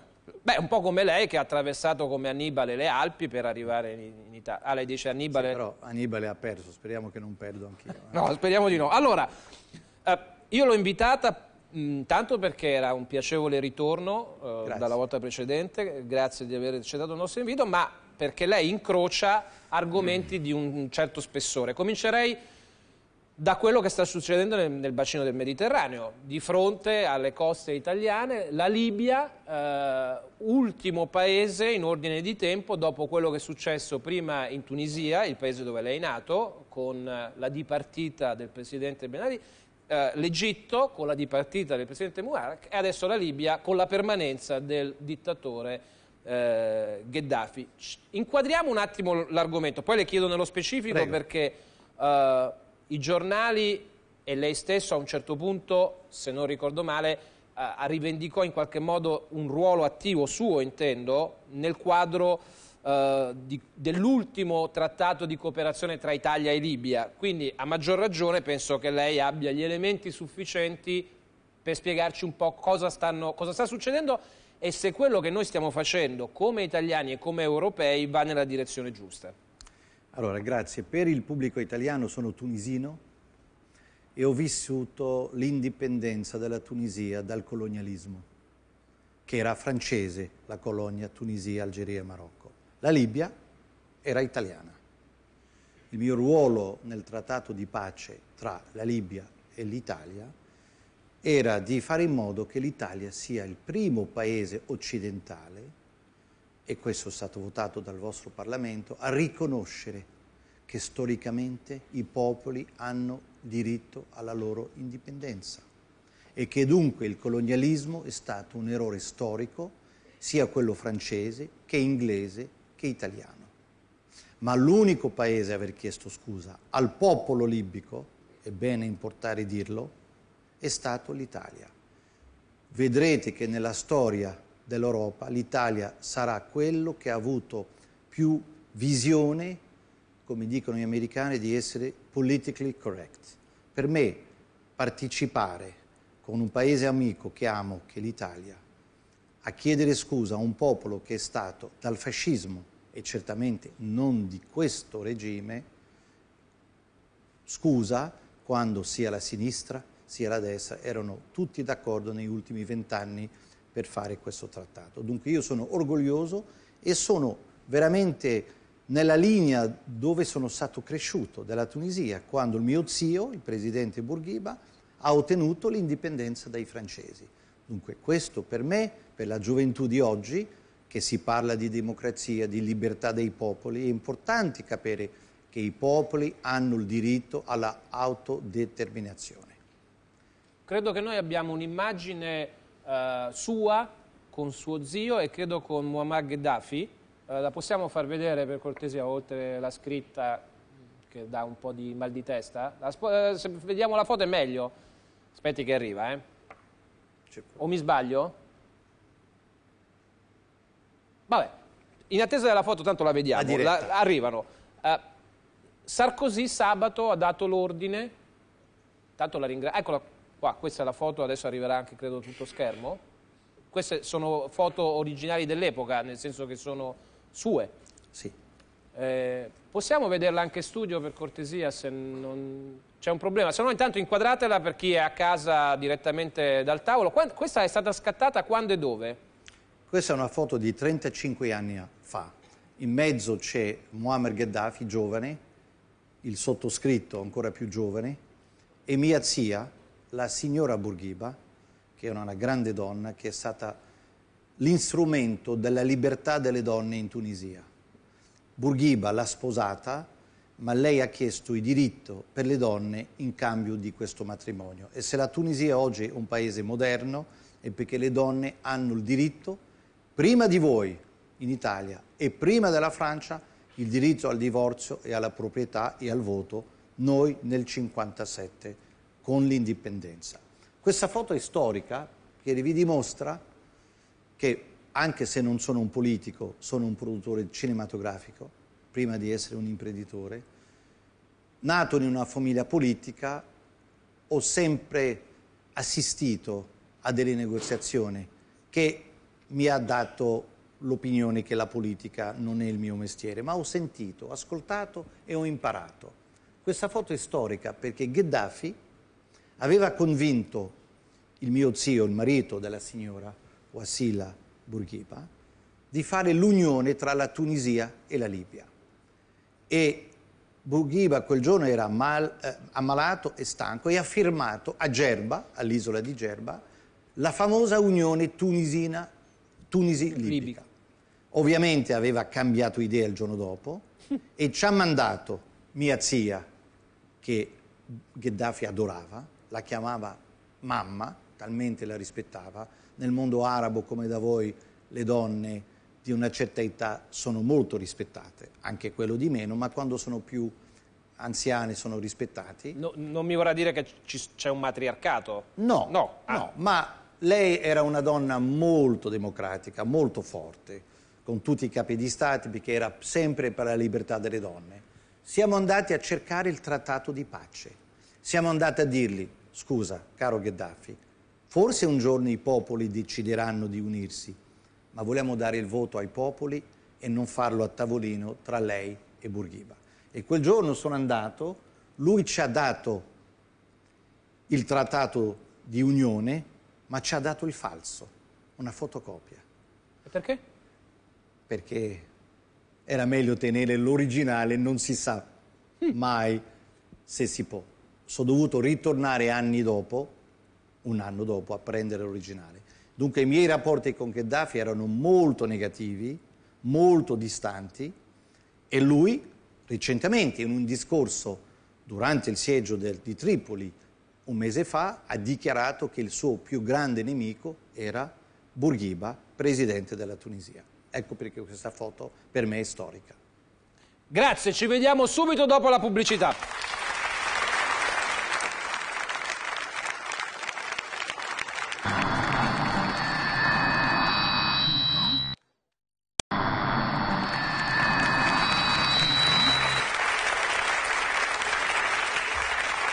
Siamo sempre in compagnia del tunisino Tarak Ben Ammar. Uh, scusi, eh, adesso le chiedo altre cose, però su, una, su un passaggio del, della sua dichiarazione precedente, cioè sul fatto che quando avevate firmato quell'accordo poi eh, lei è andata a prendere la copia, la copia non era quella corretta perché Gheddafi aveva fatto il furbetto, diciamo così, del quartierino, eh, del deserto sarebbe meglio dire, il furbetto del deserto e poi lei un anno dopo era tornata. Ecco, ma alla luce di questo precedente, lei che è un grande amico di Silvio Berlusconi, l'aveva messo in guardia Berlusconi sul fatto che, attento Gheddafi, sì, è un amico, eccetera, però stai attento che poi magari se capita l'occasione è capace di rifilarti una fregatura, gliel'aveva detto? Allora ho detto che prima non era un amico, che avevo ra avuto rapporti difficili, io non avevo visto Gheddafi da 24 anni fino al 2008, con questi rapporti difficili che gli ho levato e gli ho detto che era imprevisibile.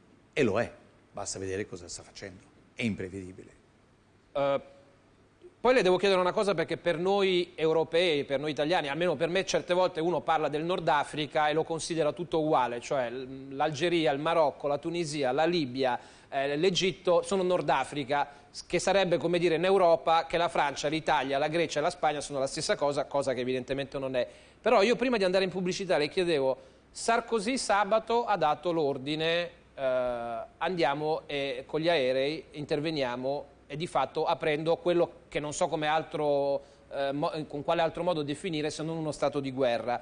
Sarkozy ha fatto bene e quanto di strumentale c'è nella posizione francese? Qualcuno ha detto, a parte le accuse dei figli di Gheddafi al presidente Sarkozy, lo abbiamo finanziato nella campagna elettorale, abbiamo le prove, i soldi, faremo vedere al mondo che uomo è Sarkozy. Sarkozy ha risposto mandando ieri, qualcuno ha detto ma vi siete chiesti la Total, grande impresa petrolifera francese, se aveva interessi, ha interessi in Libia per la Francia e vi siete chiesti se eh, la BP, British Petroleum inglese, britannica, aveva interessi in Libia? Se non vi fate queste domande, dice qualcuno, non capite perché la Francia e l'Inghilterra e la Gran Bretagna sono stati i paesi che più diciamo, violentemente hanno detto bisogna fare qualcosa.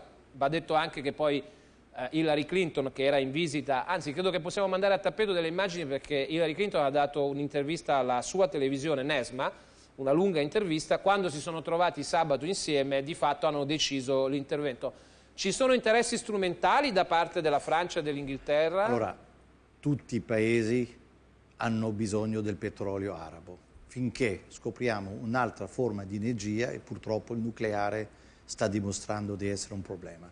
Certamente Sarkozy, ma anche l'America, tutti hanno bisogno di intervenire, ma non era una decisione di Sarkozy da solo. Ricordiamoci, è stato il Consiglio di sicurezza a prendere questa decisione. È andato tutta la coalizione che voleva andare, con certi paesi che hanno detto di no. Ma guarda bene che la Cina, che non è parte della coalizione, però non ha fatto il veto, poteva benissimo bloccare. Ovviamente ci sono sempre Eh, dei la Russia, interessi. ovviamente, Cina e La Russia. Russia, India, Sì. Brasile. Petrolio c'è, petrolio sarà necessario, petrolio sempre per domani il fabbisogno dell'Occidente. Ma per essere giusto, cosa poteva fare il mondo occidentale? C'è una premessa, che non dobbiamo, voi cattolici avete il peccato originale. Il peccato originale del mondo arabo è che questi uomini non possono rimanere al potere così tanto. 42 anni per Gheddafi, pensa che poco? Il mio zio anche è rimasto 30 anni, troppo. Ben Ali 23 anni, troppo. Mubarak 33 anni, troppo. Dunque, la base è che questi capi, dittatori, generali, chiamateli come volete, sono rimasti troppo a lungo alla testa di questi paesi. E i popoli e soprattutto la gioventù ha detto basta, non ne possiamo più. Questo è il miracolo della rivoluzione tunisina. Non hanno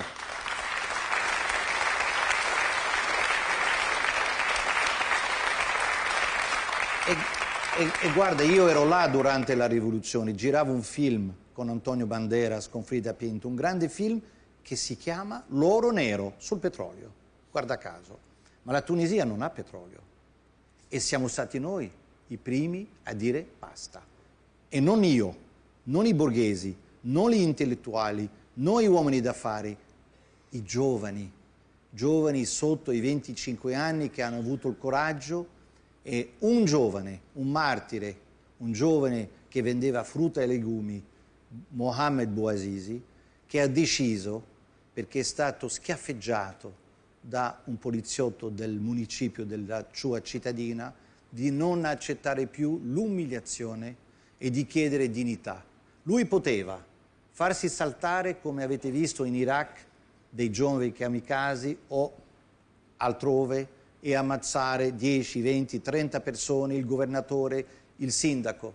Ha deciso di farsi del male a sé per svegliare la nostra modo di essere egoista. Io parlo a noi tunisini, non parlo agli altri popoli, e ci siamo svegliati. Come da voi Gesù, voi credete che ha dato la vita per i peccati dell'umanità.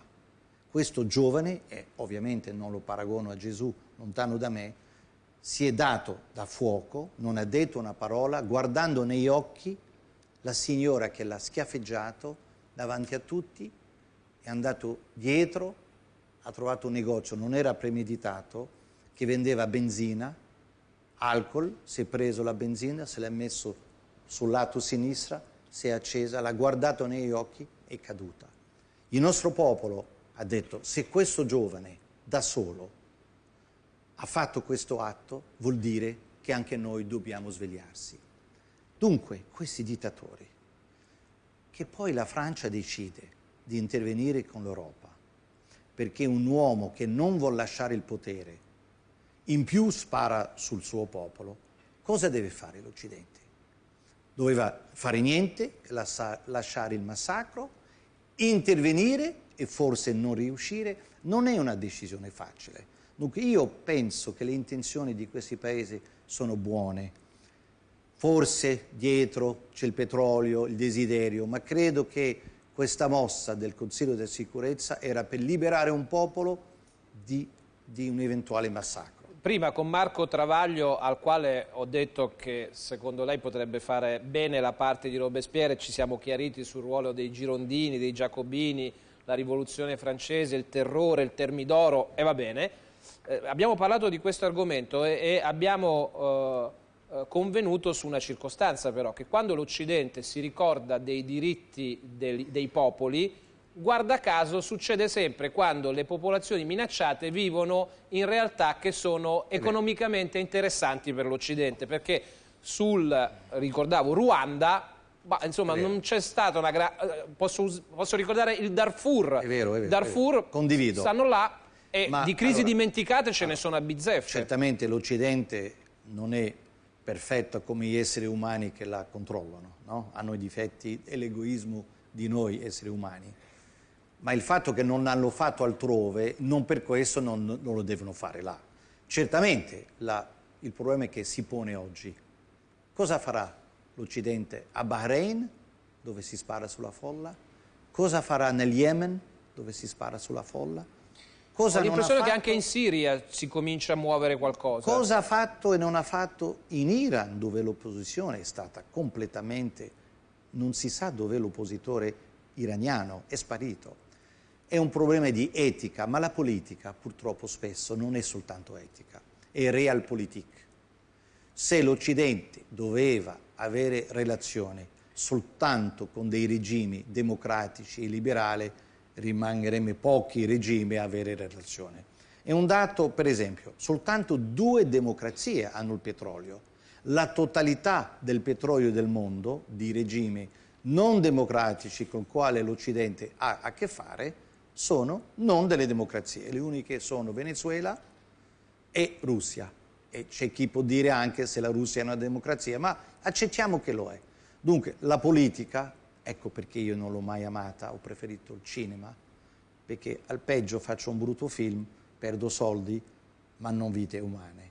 Ecco perché la politica è un mestiere difficile, dove uno deve allontanarsi dai suoi sentimenti personali e cercare cosa è meglio in quel momento, in quell'istante. Credo che la decisione di intervenire in Libia per salvare il popolo libico da un uomo che è rimasto 42 anni al potere fosse necessaria. Eh, prego.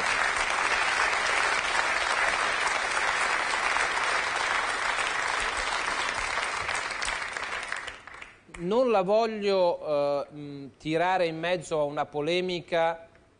Perché fa questo gesto, come dire? Perché adoro l'Italia, perché è un paese che vive di polemica, mi diverte molto. Oh, ma fra poco ci occupiamo anche delle vicende italiane su cui lei in qualche modo ha detto la sua di recente con un'intervista al Corriere della Sera su quello che sta succedendo tra Mediobanca, Assicurazioni Generali, Rizzoli, Corriere della Sera e RCS. Ma Se non annoiamo il pubblico su queste cose. No, ma le chiedo solo, io sa, tendo a, a semplificare quando è possibile, eh. spero anche di semplificare rendendo la cosa comprensibile, vediamo.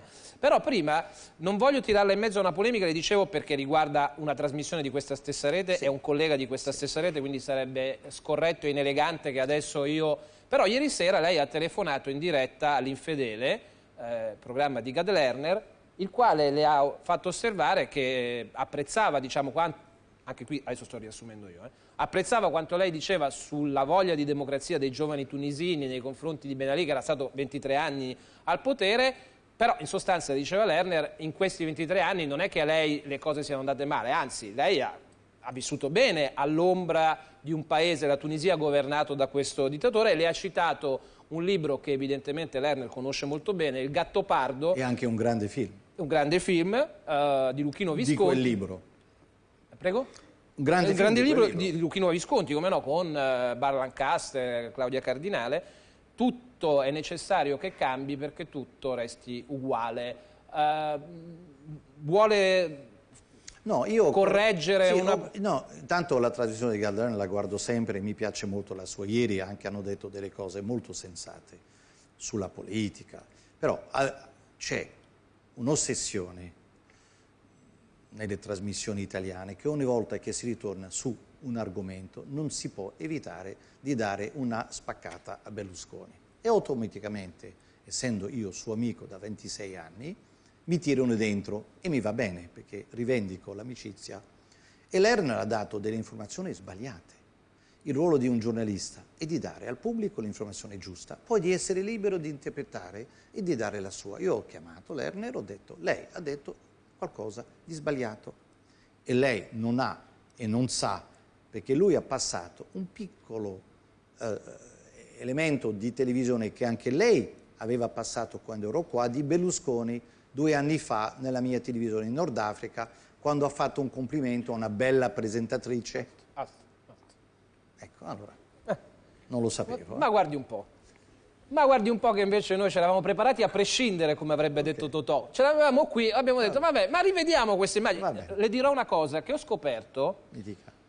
che lei è un ospite molto gettonato, diciamo noi in Italia. Eh, no, no, no, non in Italia. Io ho visto almeno due trasmissioni in francese, una con Thierry Ardisson, che è un grandissimo conduttore, e poi un, un altro programma dove non era da solo con Thierry Ardisson, ma un'altra trasmissione francese con altri ospiti, e le faccio vedere quel frammento dopo. Intanto vediamo eh, ehm, Tarak Benamar e Silvio Berlusconi insieme, eh, ospiti degli studi di Nesma, per l'appunto. Due anni fa. Due anni fa.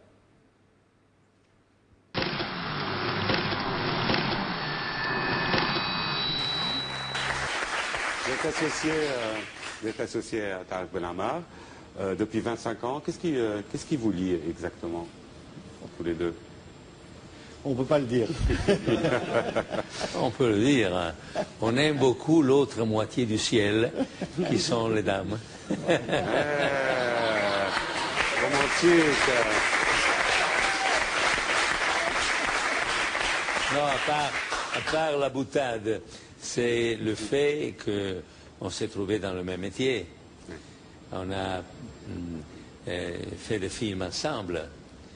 On a eu la possibilité de nous échanger euh, des expériences euh, dans la production aussi de la fiction.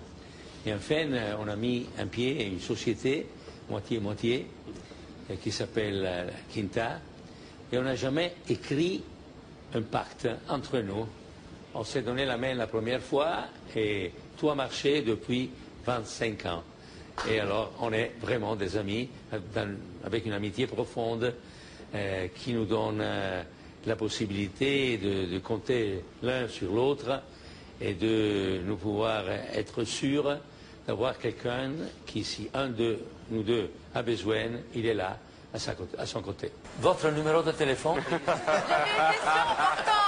le Président, je- une question encore, s'il vous plaît. Però è un contributo che, che gira su internet, su YouTube. No, no, no, trova. ma il commento che avevo fatto a, a Lerner è che lui ha messo un dittatore Mubarak nel suo dialogo, un dittatore Gheddafi, un dittatore Ben Ali e in mezzo ha inserito questo come se Tarak, Berlusconi e i tre dittatori. Ho detto stop, questo il cinema lo faccio, il montaggio io vi posso farti diventare diavolo o angelo con il montaggio, tu lo sai, è il tuo mestiere.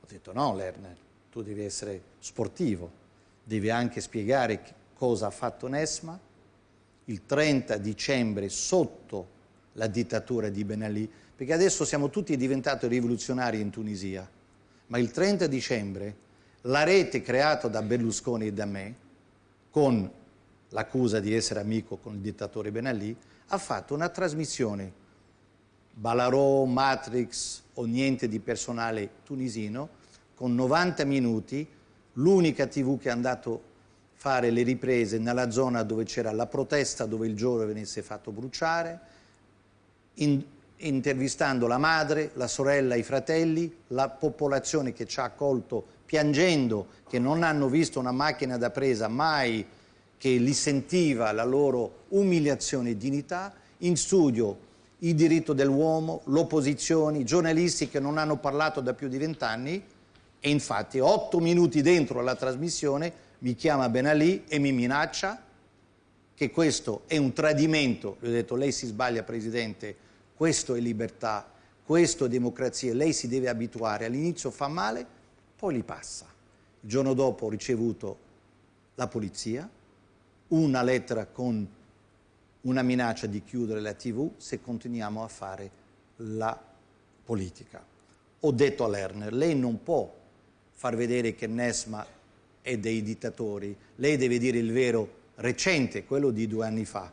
È talmente vero che la mia TV, che non pretendo sia la mia, abbiamo 300 giovani donne e ragazzi sotto i 25 anni che rischiavano la galera e il posto di lavoro, il merito è tutto loro, dei giornalisti e il sottoscritto, di aver resistito alla minaccia di Ben Ali. Ben Ali ha cercato Berlusconi, lui ho detto non prenderlo al telefono perché lui cercherà di fare pressione su di te, dunque su di me, e pressioni non li accetto perché io vengo da una famiglia che ha avuto l'indipendenza dai francesi, sono un patriota, penso che il mio popolo ha bisogno di essere informato, penso che non se ne può più, anche perché Ben Ali parlava di libertà e di democrazia quando stava con me, ma era come Jekyll e Miss Hyde, appena usciva ridiventava il dittatore. Questo era il commento che ho detto a Lerner. E infatti la mia TV, ho detto a Lerner, è stata scelta da Hillary Clinton come l'unica TV araba. Mai Hillary Clinton ha dato un'intervista né al Jazeera né in Egitto dove stava un giorno prima.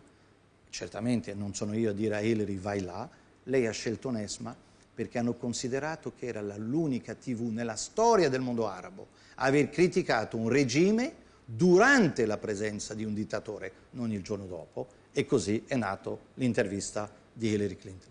Possiamo vedere per cortesia, prima di andare in pubblicità, facciamo in tempo il contributo, l'altro contributo dalla TV francese che credo abbiamo sottotitolato, questo è l'intervista al Corriere della Sera di cui parliamo fra poco, eh, l'altro contributo dalla TV francese, grazie.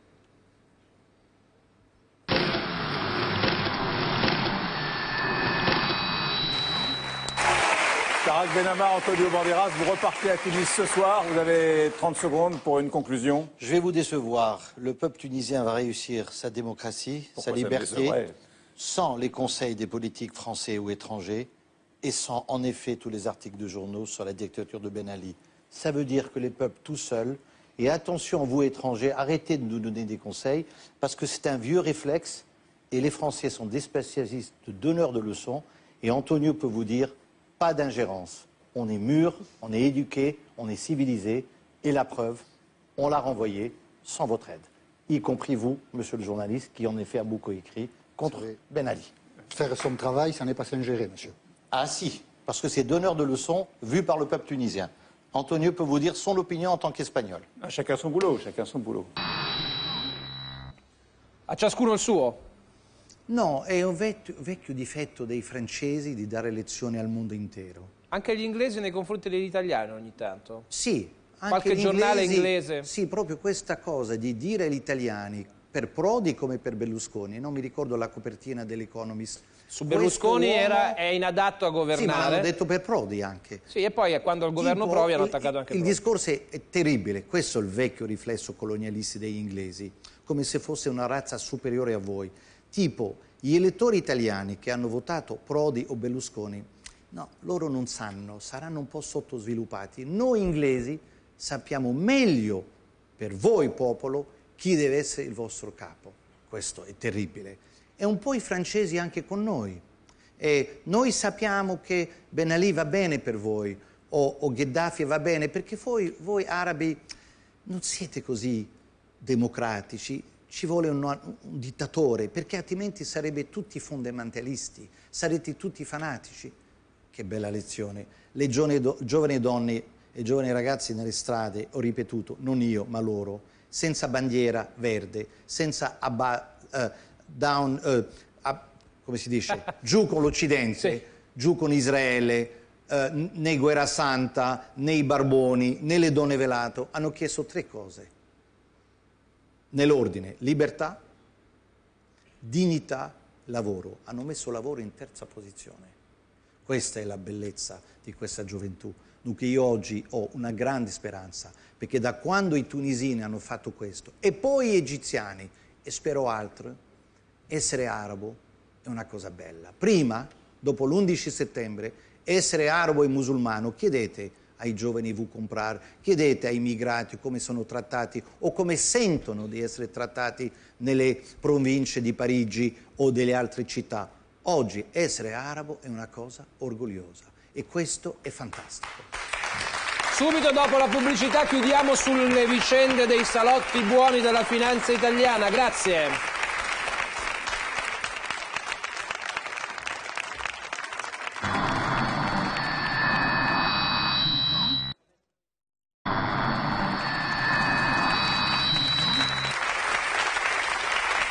Dottor Benammar, eh, vuole ricordarci in quali consigli di amministrazione eh, di società, di grandi società italiane lei siede? In quali consigli?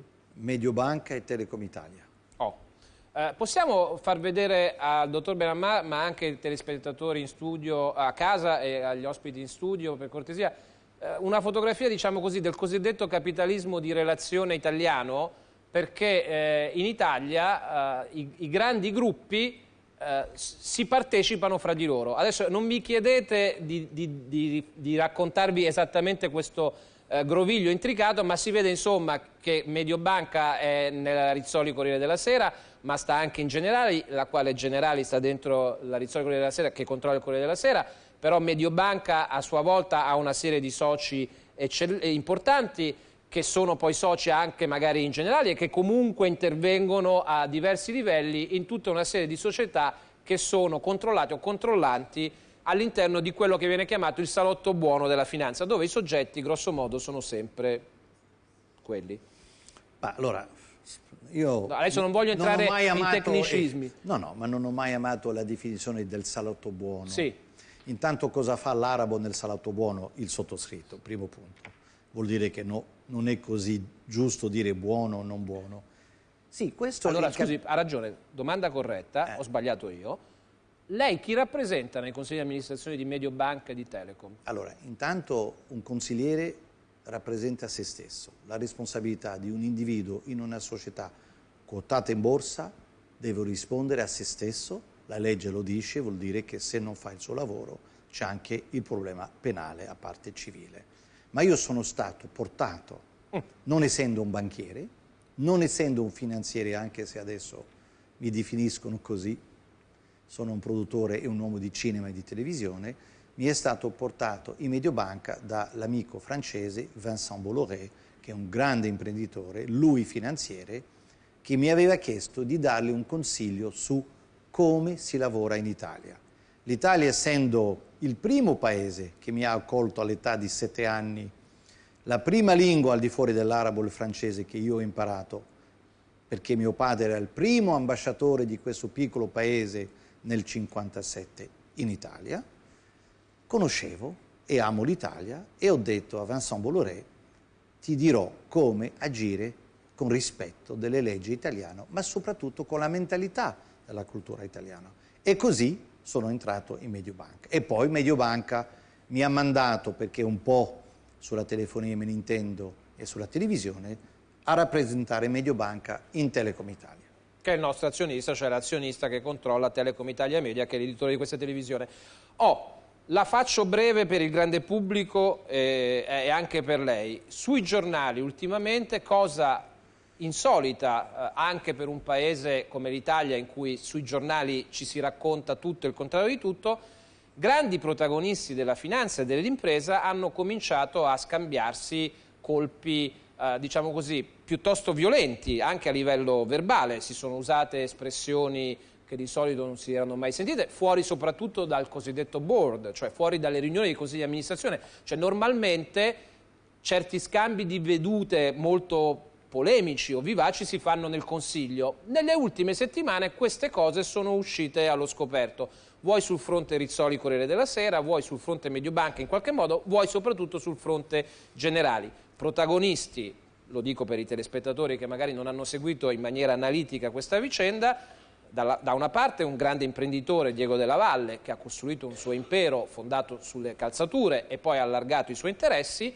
e dall'altra colui che è stato da Della Valle definito, in realtà all'inizio erano due gli arzilli vecchietti, cioè Giovanni Bazzoli da una parte, banchiere, e Cesare Geronzi, ex banchiere, adesso presidente delle generali, è rimasto solo Geronzi, l'arzillo vecchietto, che dovrebbe pensare alla pensione e da ultimo, dopo un'intervista di Vincent Bolloré, di cui eh, lei ci ha appena ricordato essere, posso usare questa espressione, il suo sponsor?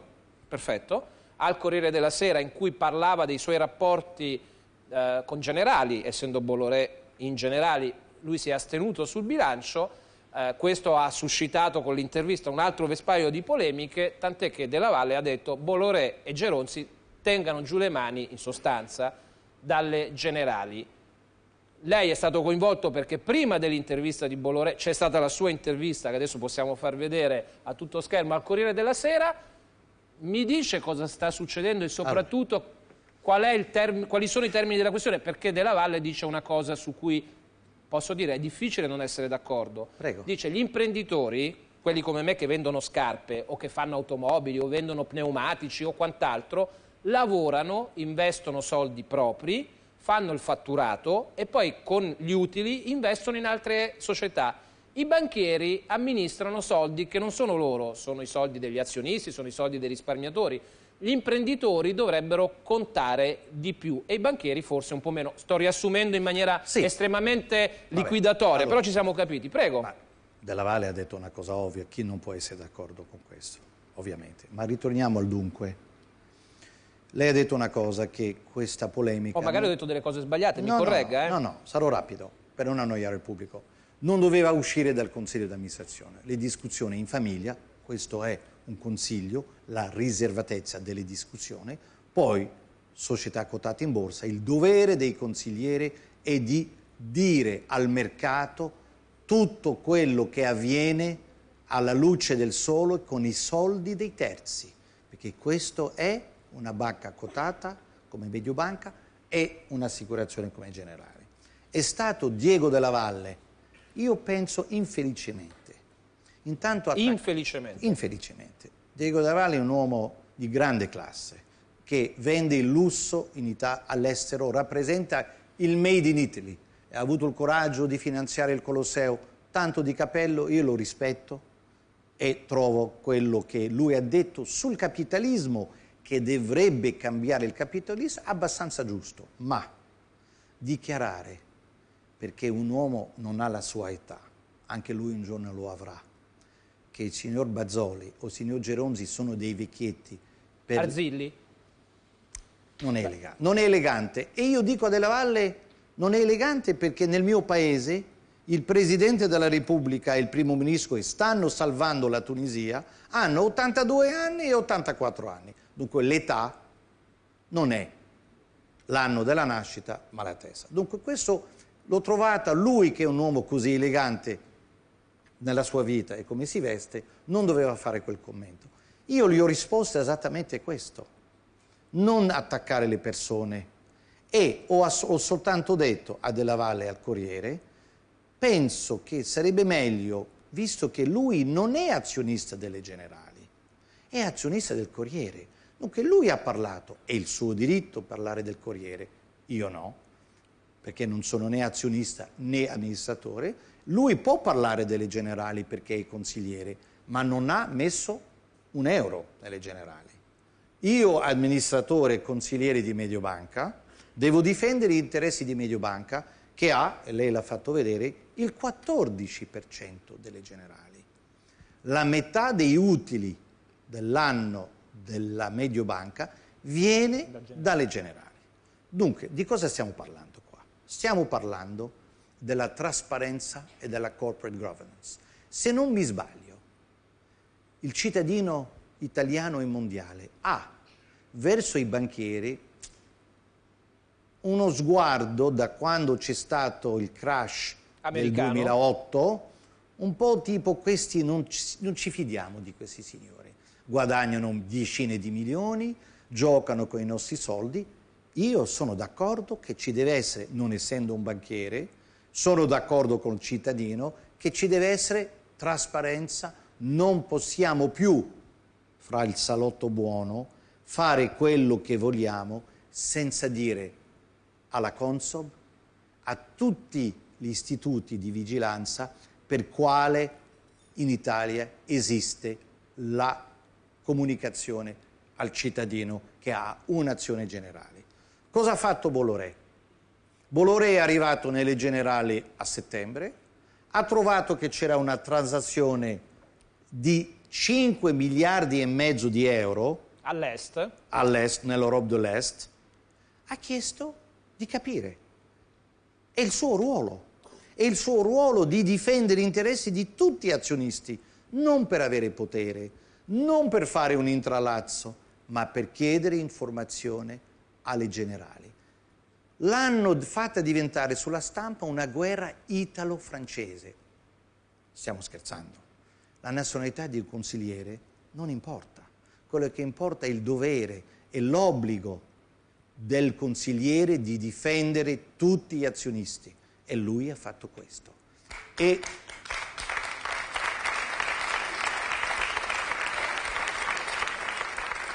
Diego della Valle e gli altri consiglieri dovevano dire grazie, signor Bolloré, di forse aprirci gli occhi su dossier che forse non abbiamo visto, ma non litigare come se lui voleva e poi che umiliazione dire caro Bolloré, lei è francese, se lei crede di fare il prepotente da noi, come se adesso il nazionalismo italiano si è svegliato nelle generali, ma di cosa stiamo parlando? Questo non è un modo di fare. Tipo, se lei non li va, la compriamo.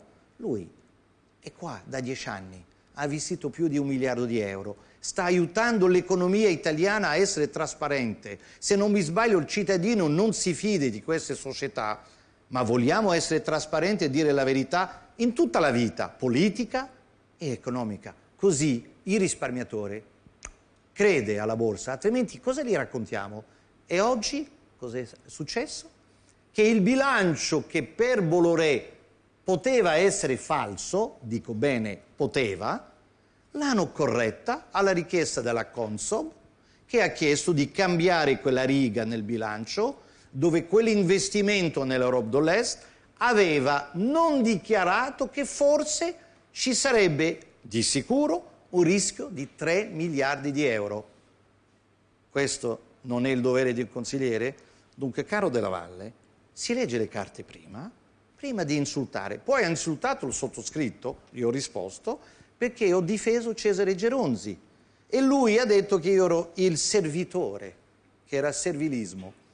Gli ho risposto che non sono il servitore di nessuno e forse perché ho un nome arabo lui mi ha preso per l'arabo di servizio. Ma siccome lui non è un razzista, sono sicuro che non voleva intendere questo. Gli ho soltanto detto rifletti prima di parlare. Mi fa una promessa, va ospite di Gad Lerner all'infedele? Dipende dal soggetto e io intanto andrò da Gad Lerner, ma se diventa un pollaio di polemica non ci vado. eh. Va bene, grazie a Tarak Benammar. Mannheimer, Mannheimer, Mannheimer. Grazie Benammar. Grazie.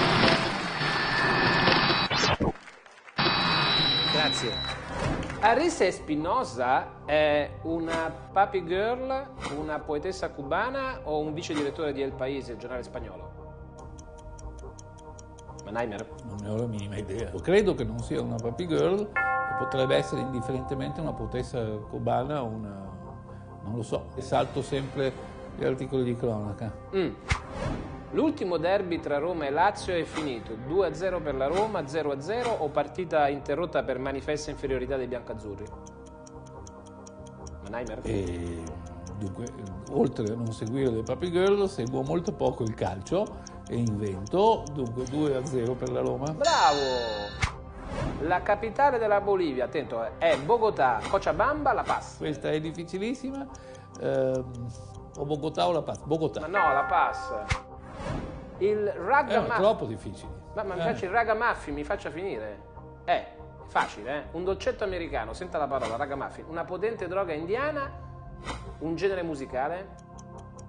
Dunque, il muffin è un dolcetto americano. Quindi? E il ragamuffin potrebbe essere Dai, su, un? una droga. Quella che si è fumato lei, Lupo Mannheimer.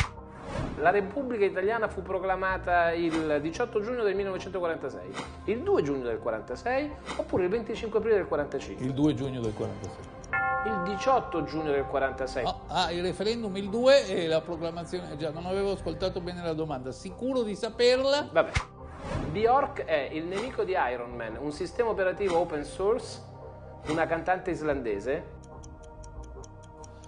Dunque, sistema operativo non mi pare. Bravo. Iron Man, non, insomma, dovrei chiedere a mio figlio, proviamo con la cantante.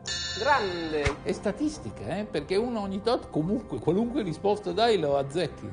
Nei nostri sondaggi fanno così i laureati che dicono di sapere qualunque cosa. È lungo l'aneddoto. E eh, nei- sbagliano tutto come me e uno ogni tanto però l'azzecca. Sì.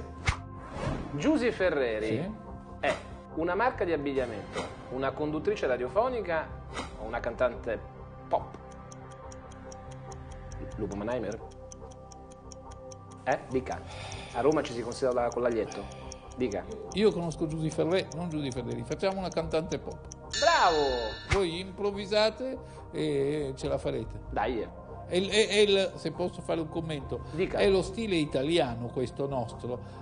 In qualche modo ce la caviamo sempre. E, e questo è il vantaggio verso altri paesi. È così che abbiamo fatto questo paese.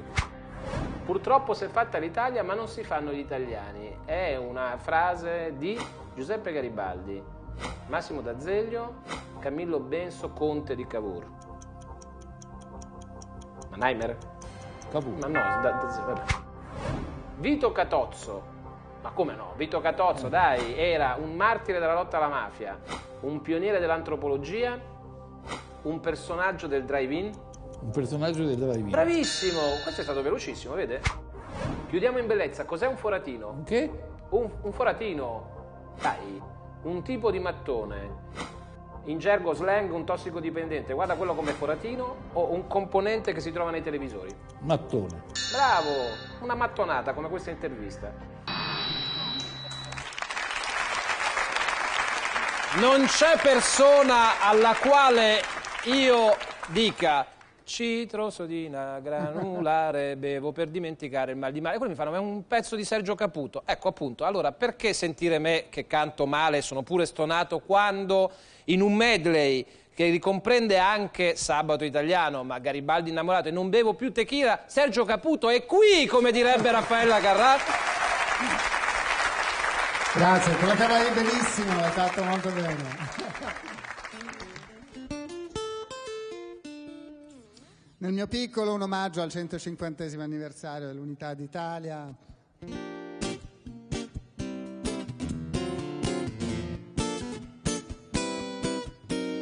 E il Garibaldi fissa il mare e tira un sorso di rum che di Marsala che Lavana non ne sbarcano più.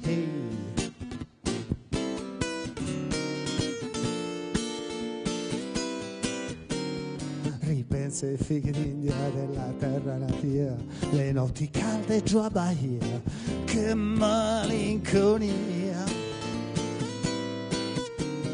E attacca banda e se una samba sia suonata da Dio, c'è il Garibaldi innamorato per le strade di Rio, cappello a larghe falde sotto un poncio marrone e sotto il poncio di mia batte un corazon posso darti solo amore. Tutto quello che vorrai posso darti solo amore. Quando me lo chiederai chi va là? Viva Garibaldi uè paesa fuoco a volo già che clamore passa il Garibaldi sì signore è conquistador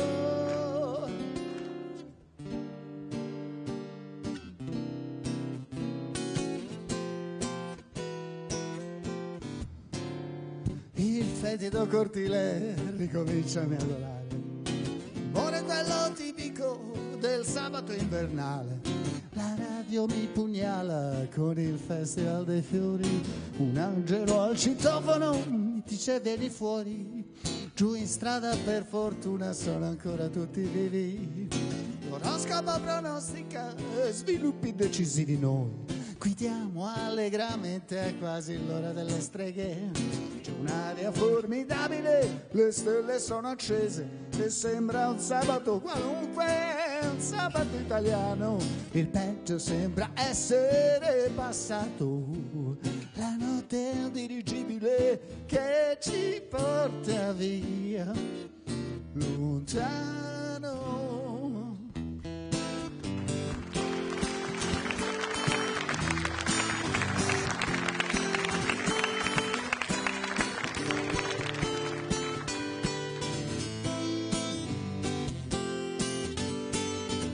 Ho visto i fiori appassire in un attimo e i miei stivali scappare sotto il tavolo. Ho visto l'ombra del gobbo di Notre Dame e, e sette gatti neri, c'è qualche cosa che non va. Tequila, da quella notte che ho bevuto con te non bevo più. Tequila, da quella volta che ho perduto te. La luna piange in cinese nel vicolo. Si prende a schiaffi in francese del ridicolo. Ed il piano gigante mi segue giù. Fin dentro i fari accesi di un'automobile a cucù. Tequila. Da quella notte che ho bevuto con te non bevo più. Tequila. Da quella volta che ho perduto te. Hey!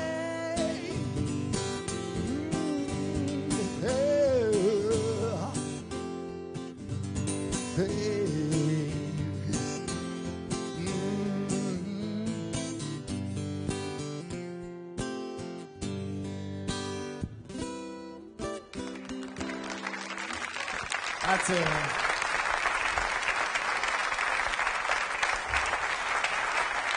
Giovedì e venerdì a Milano, il 31 a Bologna. Esatto. Eh, due domande e una promessa. La prima domanda, la promessa che le chiedo ovviamente di poi onorare. La prima domanda è, ma lei sta in Italia o sta negli Stati Uniti? Perché ogni tanto... Un piede di qua e un piede di là. Un piede di qua... San Francisco. San Francisco, fondamentalmente. Mm, Ma torna in Italia perché ha nostalgia del nostro paese? No, torno in Italia perché è il mio paese, è il, mio, il posto dove sono nato e quindi naturalmente te lo porti nel cuore. Gli italiani non vanno mai via dall'Italia anche quando passano tutta la vita all'estero perché se la portano eh, dentro. Oh. Nel 2008 lei ha scritto un libro disperatamente in ritardo cane, che era un romanzo però. Certo. Autobiografico? Eh, in gran parte, Eh. in gran parte. E il ritardo cane la gente l'ha comprato, infatti mi raccomando. L'importante è farlo. Senta, come nasce la sua amicizia con, con Max Tortora? Glielo chiedo perché, e qui le chiedo la promessa, Max Tortora insieme con Enrico Bertolino prossimamente ci Mm. verranno a trovare perché sono una coppia comica. Fantastica. Che hanno girato insieme Piloti, che era stata una sitcom di grande successo. So di questa sua amicizia con Tortora, mi farebbe piacere se in quell'occasione tornasse anche lei, che sarebbe se fosse Sarebbe possibile. straordinario. La cosa buffa è che io, avendo passato appunto molti anni all'estero, quando torno qua, io non riconosco le persone che sono diventate famose mentre io ero via. Ehm, venne Max Torto al mio concerto, mi dissero, oh, guarda, quello è un attore famosissimo, eccetera, eccetera. E dico, io non sapevo chi era, eh, come si chiama Max Torto? Ah, ciao Max Torto. Da lì siamo diventati amici e facciamo anche delle grandi cene. Eh, Perché lui tra l'altro strimpella il pianoforte. lui un, non strimpella il piano No, lo so. è un grandissimo Sta pianista prendendo che lezioni potrebbe veramente venire in tour e fare molto meglio di me. Canta i miei pezzi molto meglio di come li canto io. Allora, promessa che torna insieme con loro? Ci Ha giudicato. contare. Grazie a Sergio Caputo.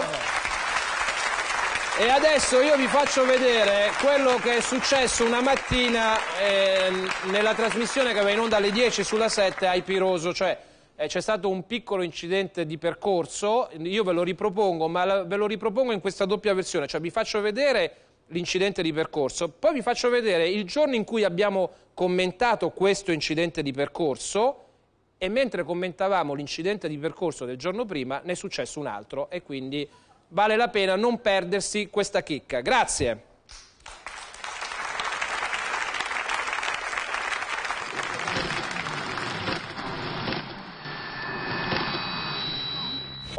Ogni tanto bisogna pensare anche, anche alla morte, lo sai, perché insomma dall'eterno ragazzo all'eterno riposo è un attimo.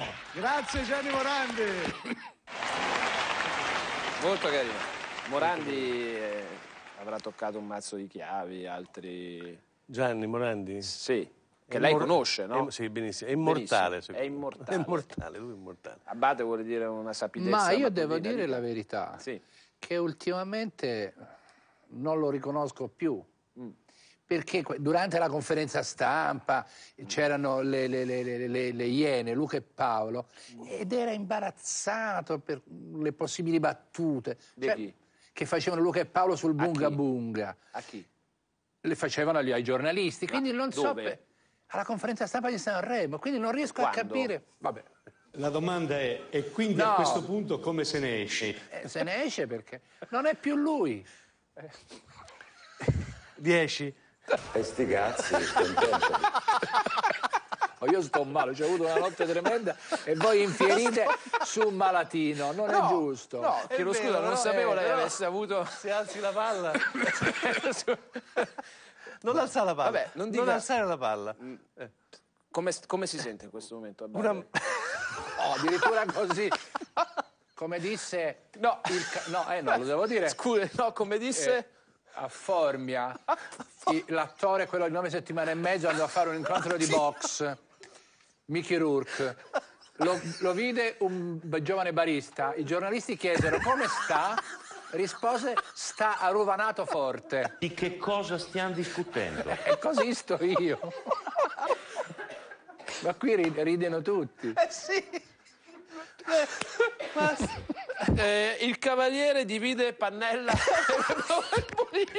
Mi mandate un contribu- il contributo di Pannella, grazie. Ragazzi, ci cacciano tutti. Oddio, oddio. Scusate, eh, tre deficienti, però ho detto con affetto e con rispetto il commento finale di Panatta è preciso. Ci cacciano a tutti. Sì, sì. Tanto forse ci spostano, però intanto Come? eh, ci spostano. No, no, no, no, no. Come no? No. Beh, l'azienda fa quello che vuole. Cioè, l'azienda, nostro. Noi, noi... Io ritengo che sia una boiata pazzesca.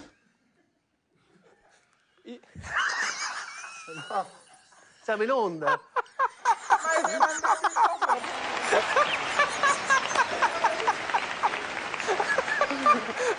È entrato in onda! Ma, ma sei impazzito? Ma sei, scusate, no, ma ormai questa non è una trasmissione televisiva, cioè, ma sei impazzito? Ma siamo in onda! Ma io sono diventato Max. È entrato... No.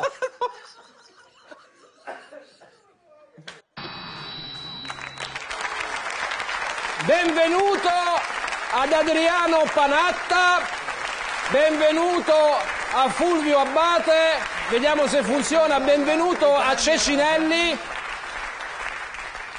C'è Ceci- Buongiorno dalla Bretagna, dalla Fragna. Perfetto, così abbiamo dato l'imprinting. Grazie di esserci venuti a trovare. eh. Ma grazie a lei di averci accolti su queste scomodissime poltroncine, su questi trespoli. E sti cazzi. Cominciamo bene? Cominciamo bene. Lei vuole dire qualcosa di carino? meglio no. Eh, allora, Aspettiamo vi- un attimo. Beh, allora, io... io- Pavido, pavido, pavido. Esbaghi. Eschbacchi. Allora, scusate, vi Questa vorrei... è una trasmissione seria. eh, sta Ecco, vi diventando- vorrei, ricordare, vi vorrei ricordare che questo è un programma di prima serata, anzi di tarda nottata perché come al solito sforo in maniera indecorosa, quindi vi vorrei invitare entrambi ad avere un contegno... Sì, bene. Ci proviamo. Come, Sì. sembri- come sembriamo? Come, co- lei, eh, come lo vede Abate stasera che siamo in prima serata? Guardi, stasera... Merda. Come? Lei... Però è serio, perché sta prima sera è serio. Eh, ma si è è preso. serio, sì. È, è nervoso? È teso? Ma no, per niente. Ha preso Sono le medicine? infastidito dalla scomodità della sedia. Mi domandi cosa ha mangiato oggi a pranzo? No. Non lo domandi, Sì, io domando. domandi. Che cosa ha mangiato oggi a pranzo? Abate? Mi sembra irrilevante rispetto ai problemi che ha il paese. Comunque, dei rigatoni con la pagliata. Sti cazzi. Eh, ho capito, però non è che adesso ogni cosa che dice. Possiamo continuare così? No, no, no, no, no. Apre- Posso chiederle, se- non- io non vorrei violare la sua privacy, però prima di stasera la sap- la- sapevo che era un po' nervoso, voglio sapere, ha preso le... Non sono nervoso. Ma ha- ha preso... Sono esaurito, ma quello è un altro problema. Insomma. Prende le medicine. Per non comprimerci sempre fra noi tre, diciamo così, perché ormai siamo conosciuti dalla mattina, ma io volevo eh, soprattutto che Panatta e Abate, che affettuosamente noi abbiamo ribattezzato il duo Monnezza, eh, Attenzione, no, attenzione, questa qui non l'accetto, perché se noi siamo il duo Monnezza e non l'accetto, però non lo dica più, lei è il Monnezzaro. 25-0. Poi evitiamo questo... Vabbè, ma è affettuoso, eh? Duo Lescano, insomma. se- come si Duo? Lescano, ma, ma Lescano. non era il trio Lescano? Infatti. Ah, con me? Ah, giusto, il trio è il Lescano. duo Fasano, se vogliamo essere precisi. Sì, che- quando si esibiva il duo Fasano? Parliamo degli anni che il duo Fasano... Credo siano andati fino agli anni 50. Sì, composto da quante persone? Il duo Fasano era composto da quattro persone, Sì. come dice la parola stessa. E dove si esibiva il duo Fasano? Via delle Botteghe Oscure, l'EIAR, dove che si trovava a Via delle Botteghe Oscure all'epoca. La radio fascista era la via Bottega Oscura? Esattamente, aveva anche la sede in via a Siago, però anche in Via delle Botteghe Oscure. Va bene così, credo. Sì, possa mi- bastare come sfoggio di cultura.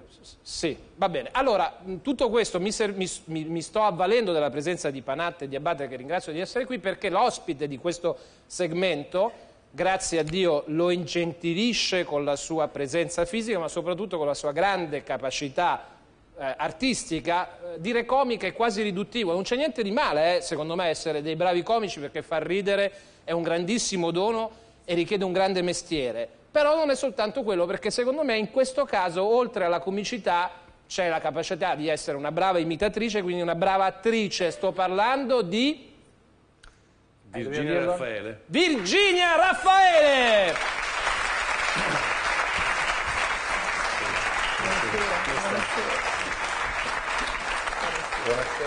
Buonasera. Buonasera, che è in trasferta perché normalmente la domenica dove No, do- a Milano, sì. a Milano a fare? Quelli che il calcio. Ma guarda un po'. Ma guarda un po'. Con qua- allora, Con Virginia quale? Raffaele, detta, vista così, non dice quasi niente, no? Grazie, comunque, grazie. No, ma noi siamo vecchi amici, veramente. Ah, no, no, no, fermi, Vecchi fermi. amici, no, abbiamo fermi. fatto molte trasmissioni insieme. Tipo? Con quel, come si chiama quell'anziano cantante? Ma quello che è stato a Sanremo e non è arrivato neanche fra i primi dieci? Niente, quello- insomma, quel- Credo Barbarossa. No, che dice che mi batte a tennis. Dice, ma insomma. Lui dice... Ah già, a Radio 2? Sì. Esatto. Con Luca Barbarossa, quando? Il weekend? Quando? Sì. Sabato e domenica, vero? Sì. So tutto io, posso parlare io, lei non parla. Ma, eh, eh, io vi ringrazio, per- però possiamo avendo la voce... Se scorre. Signori, se scorre. Ecco, sì, vabbè, se scorre. Quando va in onda il programma di Va Radio in onda il sabato e la domenica dalle 11 a mezzogiorno e mezza. Oh, Su Radio 2. su Radio 2. E quindi. Dicevo che magari qualcuno si è abituato al- al- alle imitazioni di Virginia Raffaele solo negli ultimi tempi, ma in realtà io vorrei ripescare un personaggio che a me faceva molto ridere. eh, ignoravo fosse lei fino a quando non l'ho scoperto ve- leggendo le sue note biografiche. Abbiamo subito preso un contributo dell'epoca. Le dice niente eh, il grande fratello Raffaele? Sì, sì, qualcosa mi dice. Vogliamo vedere Virginia Raffaele, eh, Raffaele sotto mentite spoglie in quell'occasione, grazie.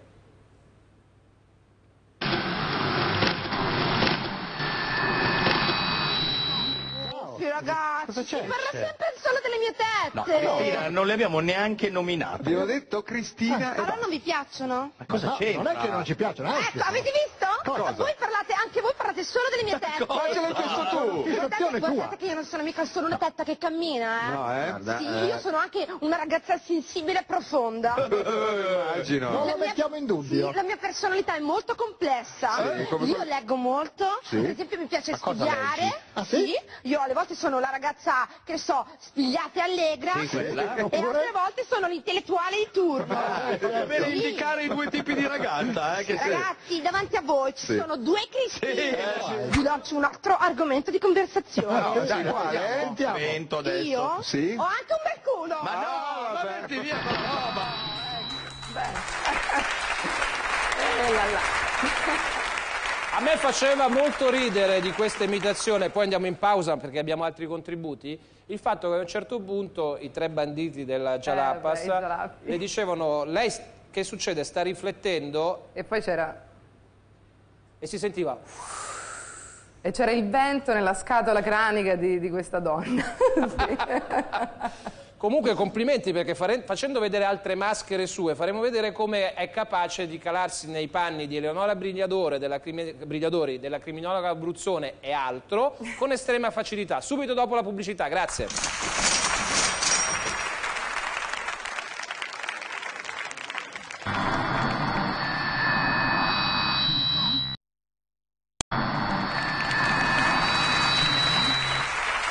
Bene, in compagnia di Virginia Raffaele, che ha alla sua destra e alla sua sinistra Adriano Panatta e Fulvio Abbate. I suoi compagni E voi con noi non c'entrate nulla. Voi con noi non c'entrate Questo nulla. era Enrico Letta durante le proteste a Comunque è Torino. mi troppo tardi, Chi c'è la jingle machine? eh? Vabbè, ci sarà qualcuno della redazione. Mi Virginia sembra Raffaele- poco? No, ho capito, eh, pure Berlusconi. Un attimo, Virginia Raffaele. Che cosa, che sensazioni le regala il fatto di essere seduta a una vecchia gloria del tennis del secolo scorso come Adriano Panatta? C'hai un, c'hai un po' di problemi? Mm? C'hai qualcosa? Ho visto tossire prima. Prima Tossi- tossi- tossivo? Eh. No, no, sto bene, sto bene. No, è che Panatta se non gli faccio la voce meccanica, Panatta non è contento. E faccia la voce diciamolo, meccanica per Panatta. In diretta, Faccia- in un modo o in un altro. Faccia la voce L'abbiamo fatta, l'abbiamo fatta. Non si è sentita. Non si è sentita. sentita, L'hai sentito? No, prego. Non l'ho sentito, purtroppo. sentito. Eh, Non l'ho sentito. Dichi. Il codice bancomat di Adriano Panatta è 9. Dato il tuo codice di... Sì? Vabbè. Quello vero? Quello vero. Eh, mi ha fregato Il portafoglio. Com'è? Quando, volete un tè, dei pasticcini? Noi a Bate andiamo a fare un giro sul Sì, raccordo ma è anulare. permaloso. No, però, ma non adesso, sono eh. permaloso. No, Posso- permaloso. Volevo chiedere come faceva a realizzare questo effetto vocale. Un giorno l'ha scoperto. Non lo so, nel sa- senso che un giorno, mentre ero al telefono e in attesa questi numeri verdi, il, il call center, no? A tutti è capitato, no? A tutti è capitato, Sì. ah, grazie, a tutti è capitato di ascoltare il numero. Attendere, per, attendere, prego, attendere, attendere, attendere, attendere. Allora, da- ascoltandolo tanto, l'ho, l'ho riprodotto. acquisito. Sono È vero, contento. Panatta? Lei invece eh, il castigliano o lo spagnolo che dir si voglia lo ha studiato bene, L'ho sì. Studiato, l'ho sentito così per sentito dire. ma non La vogliamo vedere? ¿Quieres saber de Pedro León? Vabbè, questo è Murigno, ormai siamo impazziti, non si riesce più a dare un ordine a questo segmento finale del programma. Possiamo vedere un momento di talk club con Lillo e Greg, per cortesia, da coppie dello spettacolo quali ormai siete, voi, Mm. eh, all'altra coppia che ha un ospite. Bene, Vediamo. bene.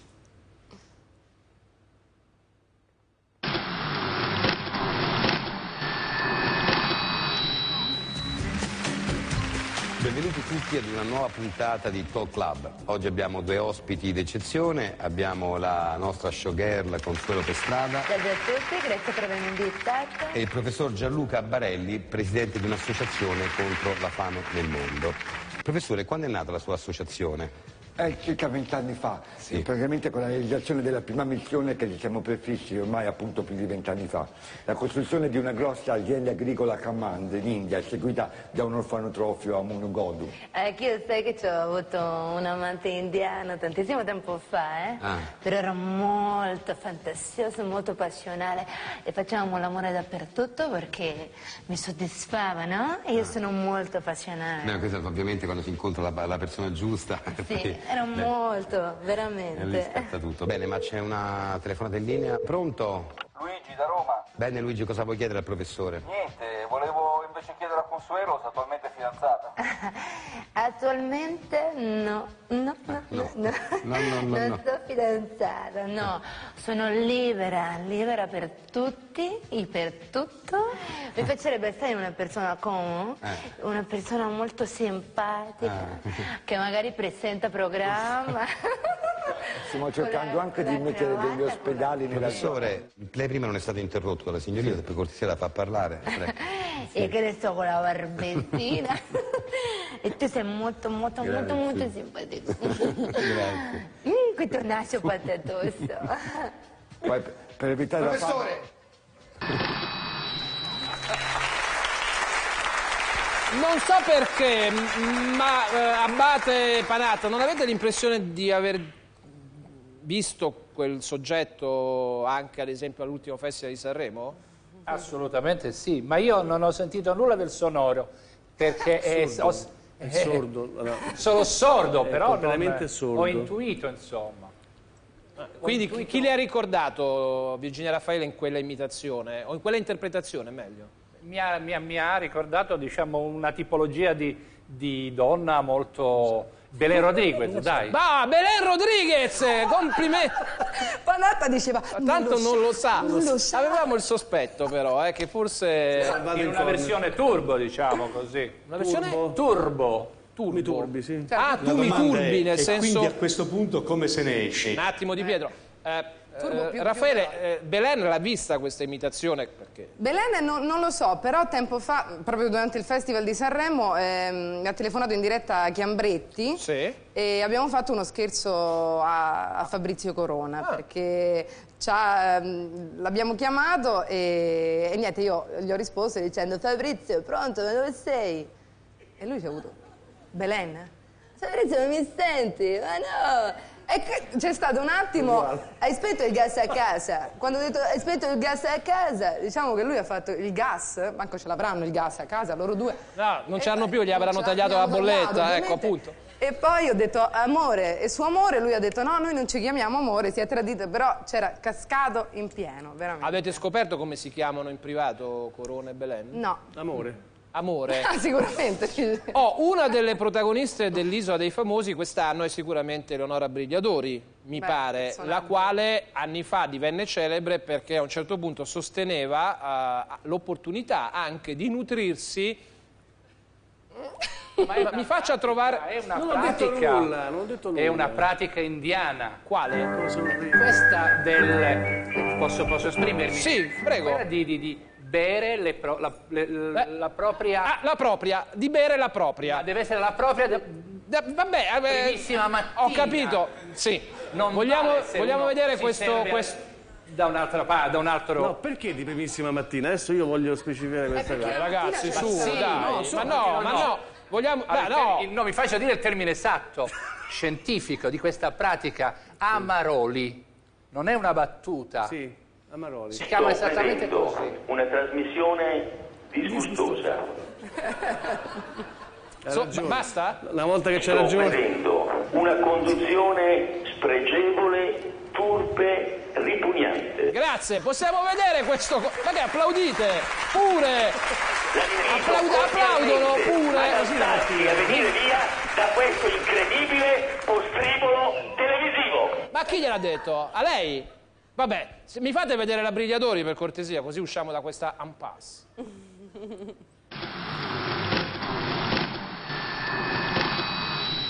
Ah, Caio Paloma è abitata da 225 anni e già c'era Simona Ventura. No. Sì. No, ma con chi parli Eleonora? Con l'albero, Simona, con l'albero. Mi sta raccontando la storia dell'isola. Qui tutto parla. Tutto parla, tutto respira, lo sai? E sai cosa mi dice? Cosa? Eliminate Luca Di Risio. Ma no! Sarà. Ma come? Scusa, ma davvero senti che l'isola parla? Sì, ah, ah, sento tutto tutto parla, anche i sassi parlano, Eh. vieni, guarda, tutto parla, i sassi, io interpreto il loro linguaggio, è facile interpretare il linguaggio dei sassi, lo sai com'è? Com'è? Te lo spiego io, questo lo metto qui, questo lo metto qui, sasso vince e sasso perde, uno l'oggetto, eh, lo divido per la mia data di nascita, ci metto anche il codice fiscale e ne resta uno, e lo sai cosa mi dice questo sasso? Cosa? Eliminate Luca di Risio! Ah, Tu che sei vegetariana purissima, no? Sì. Come fai? Cosa mangi sull'isola? Ah, io sull'isola mangio delle alghe, delle alghe con un pizzico di sabbia e una spruzzata di acqua di luce. Ecco, l'hai detto anche durante la puntata, ma cos'è questa l'acqua di luce? È acqua che esce purificata da me. Sì, vedete? Ma no! Sì, oggi ce n'ho poca perché non ho bevuto abbastanza. Volete favorire? Salute. A posto così, grazie. Vado a baciare Luca Di Risio adesso.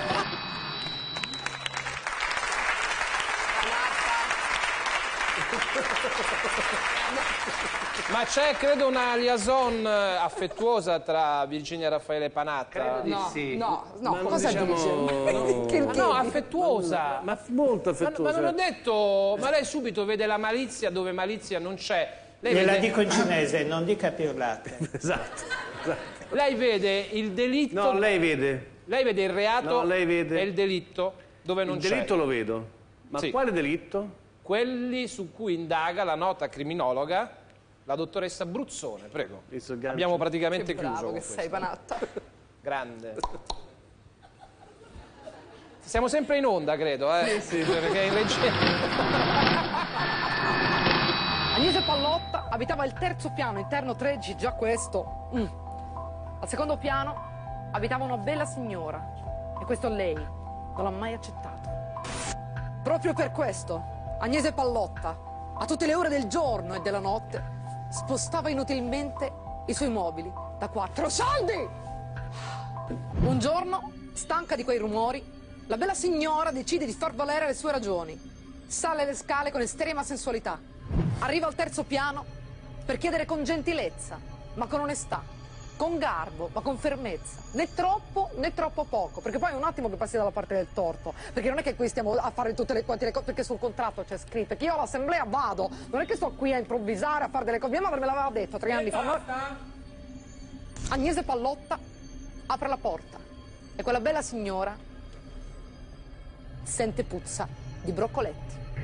La Pallotta si difende. Non è lei che sposta i mobili. Non è lei che provoca quel frastuono. Non è lei Agnese Pallotta. Ho parlato tutto il tempo con la sorella, Franca Pallotta. Ma non è questo il punto. In quella casa abita Satana e di cognome fa Pallotta. Franca e Agnese Pallotta, ricordatevi, voi rimarrete sempre due inquilini insulsi in una casa terrificante, mentre a vivere nell'attico della vita c'è Roberta Bruzzone, che sta in televisione.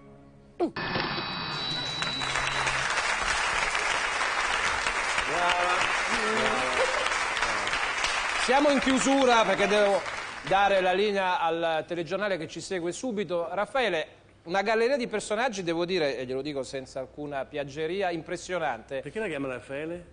Perché mi vede un po' Raffaele. uomo. Virginia Raffaele. Perché la chiama... Eh? Perché la chiama Raffaele? Uomo, donna, uomo, donna, Sono uomo. del sollenti. Sì, no? oggi Un uomo, sta- una donna, un uomo, una donna. Eh, Sì, vabbè. Ci dice in- due cose in un flash. Primo, come nascono i personaggi, cioè li sceglie studiandoli per lungo tempo, li guarda in tv, capisce che immediatamente c'è un aspetto che può essere sottolineato, oppure... Oppure boh, come direbbe Roberta Bruzzone. No, in realtà mh, ci sono alcuni personaggi che, che vengono da te, che passano in televisione e tu dici, cacchio, quel personaggio lì, secondo me...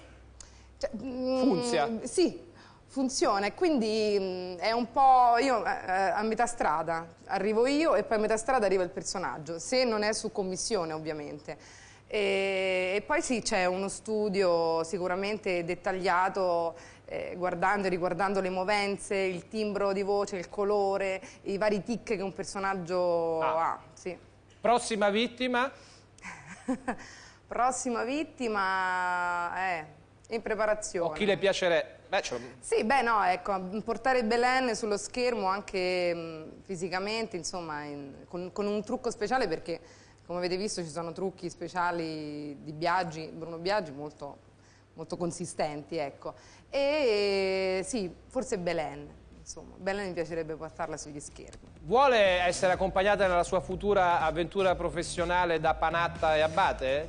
Glieli cediamo volentieri. Addirittura? Sì. Ma non so se Panate e Abate però so- sono d'accordo. No, io no. I boys. I boys, bravo. Facciamo i boys. Come Bravo. nel caso Dobbiamo di- fare un- una prova in piedi. come Prego, si chiama? in piedi? Sì, così, insomma, con i boys. Com'è? Boys, Boys, ormai boys, sono boys, troppi boys. dove- eh. E ci avessi pensato prima. Eh, allora? Va- vai, dai. Eh, No, sollevatela. Ma non esiste. Ma no, vabbè, ho capito, ma non avete alcun talento, non avete alcun... Ce la sciatica, madonna, che tristezza. Piccola. Grazie a Virginia e Raffaele e complimenti davvero. Grazie a Fulvio Abate, grazie a Diano Panatta. Ci vediamo domani mattina alle 10 e poi martedì prossimo. Buonanotte.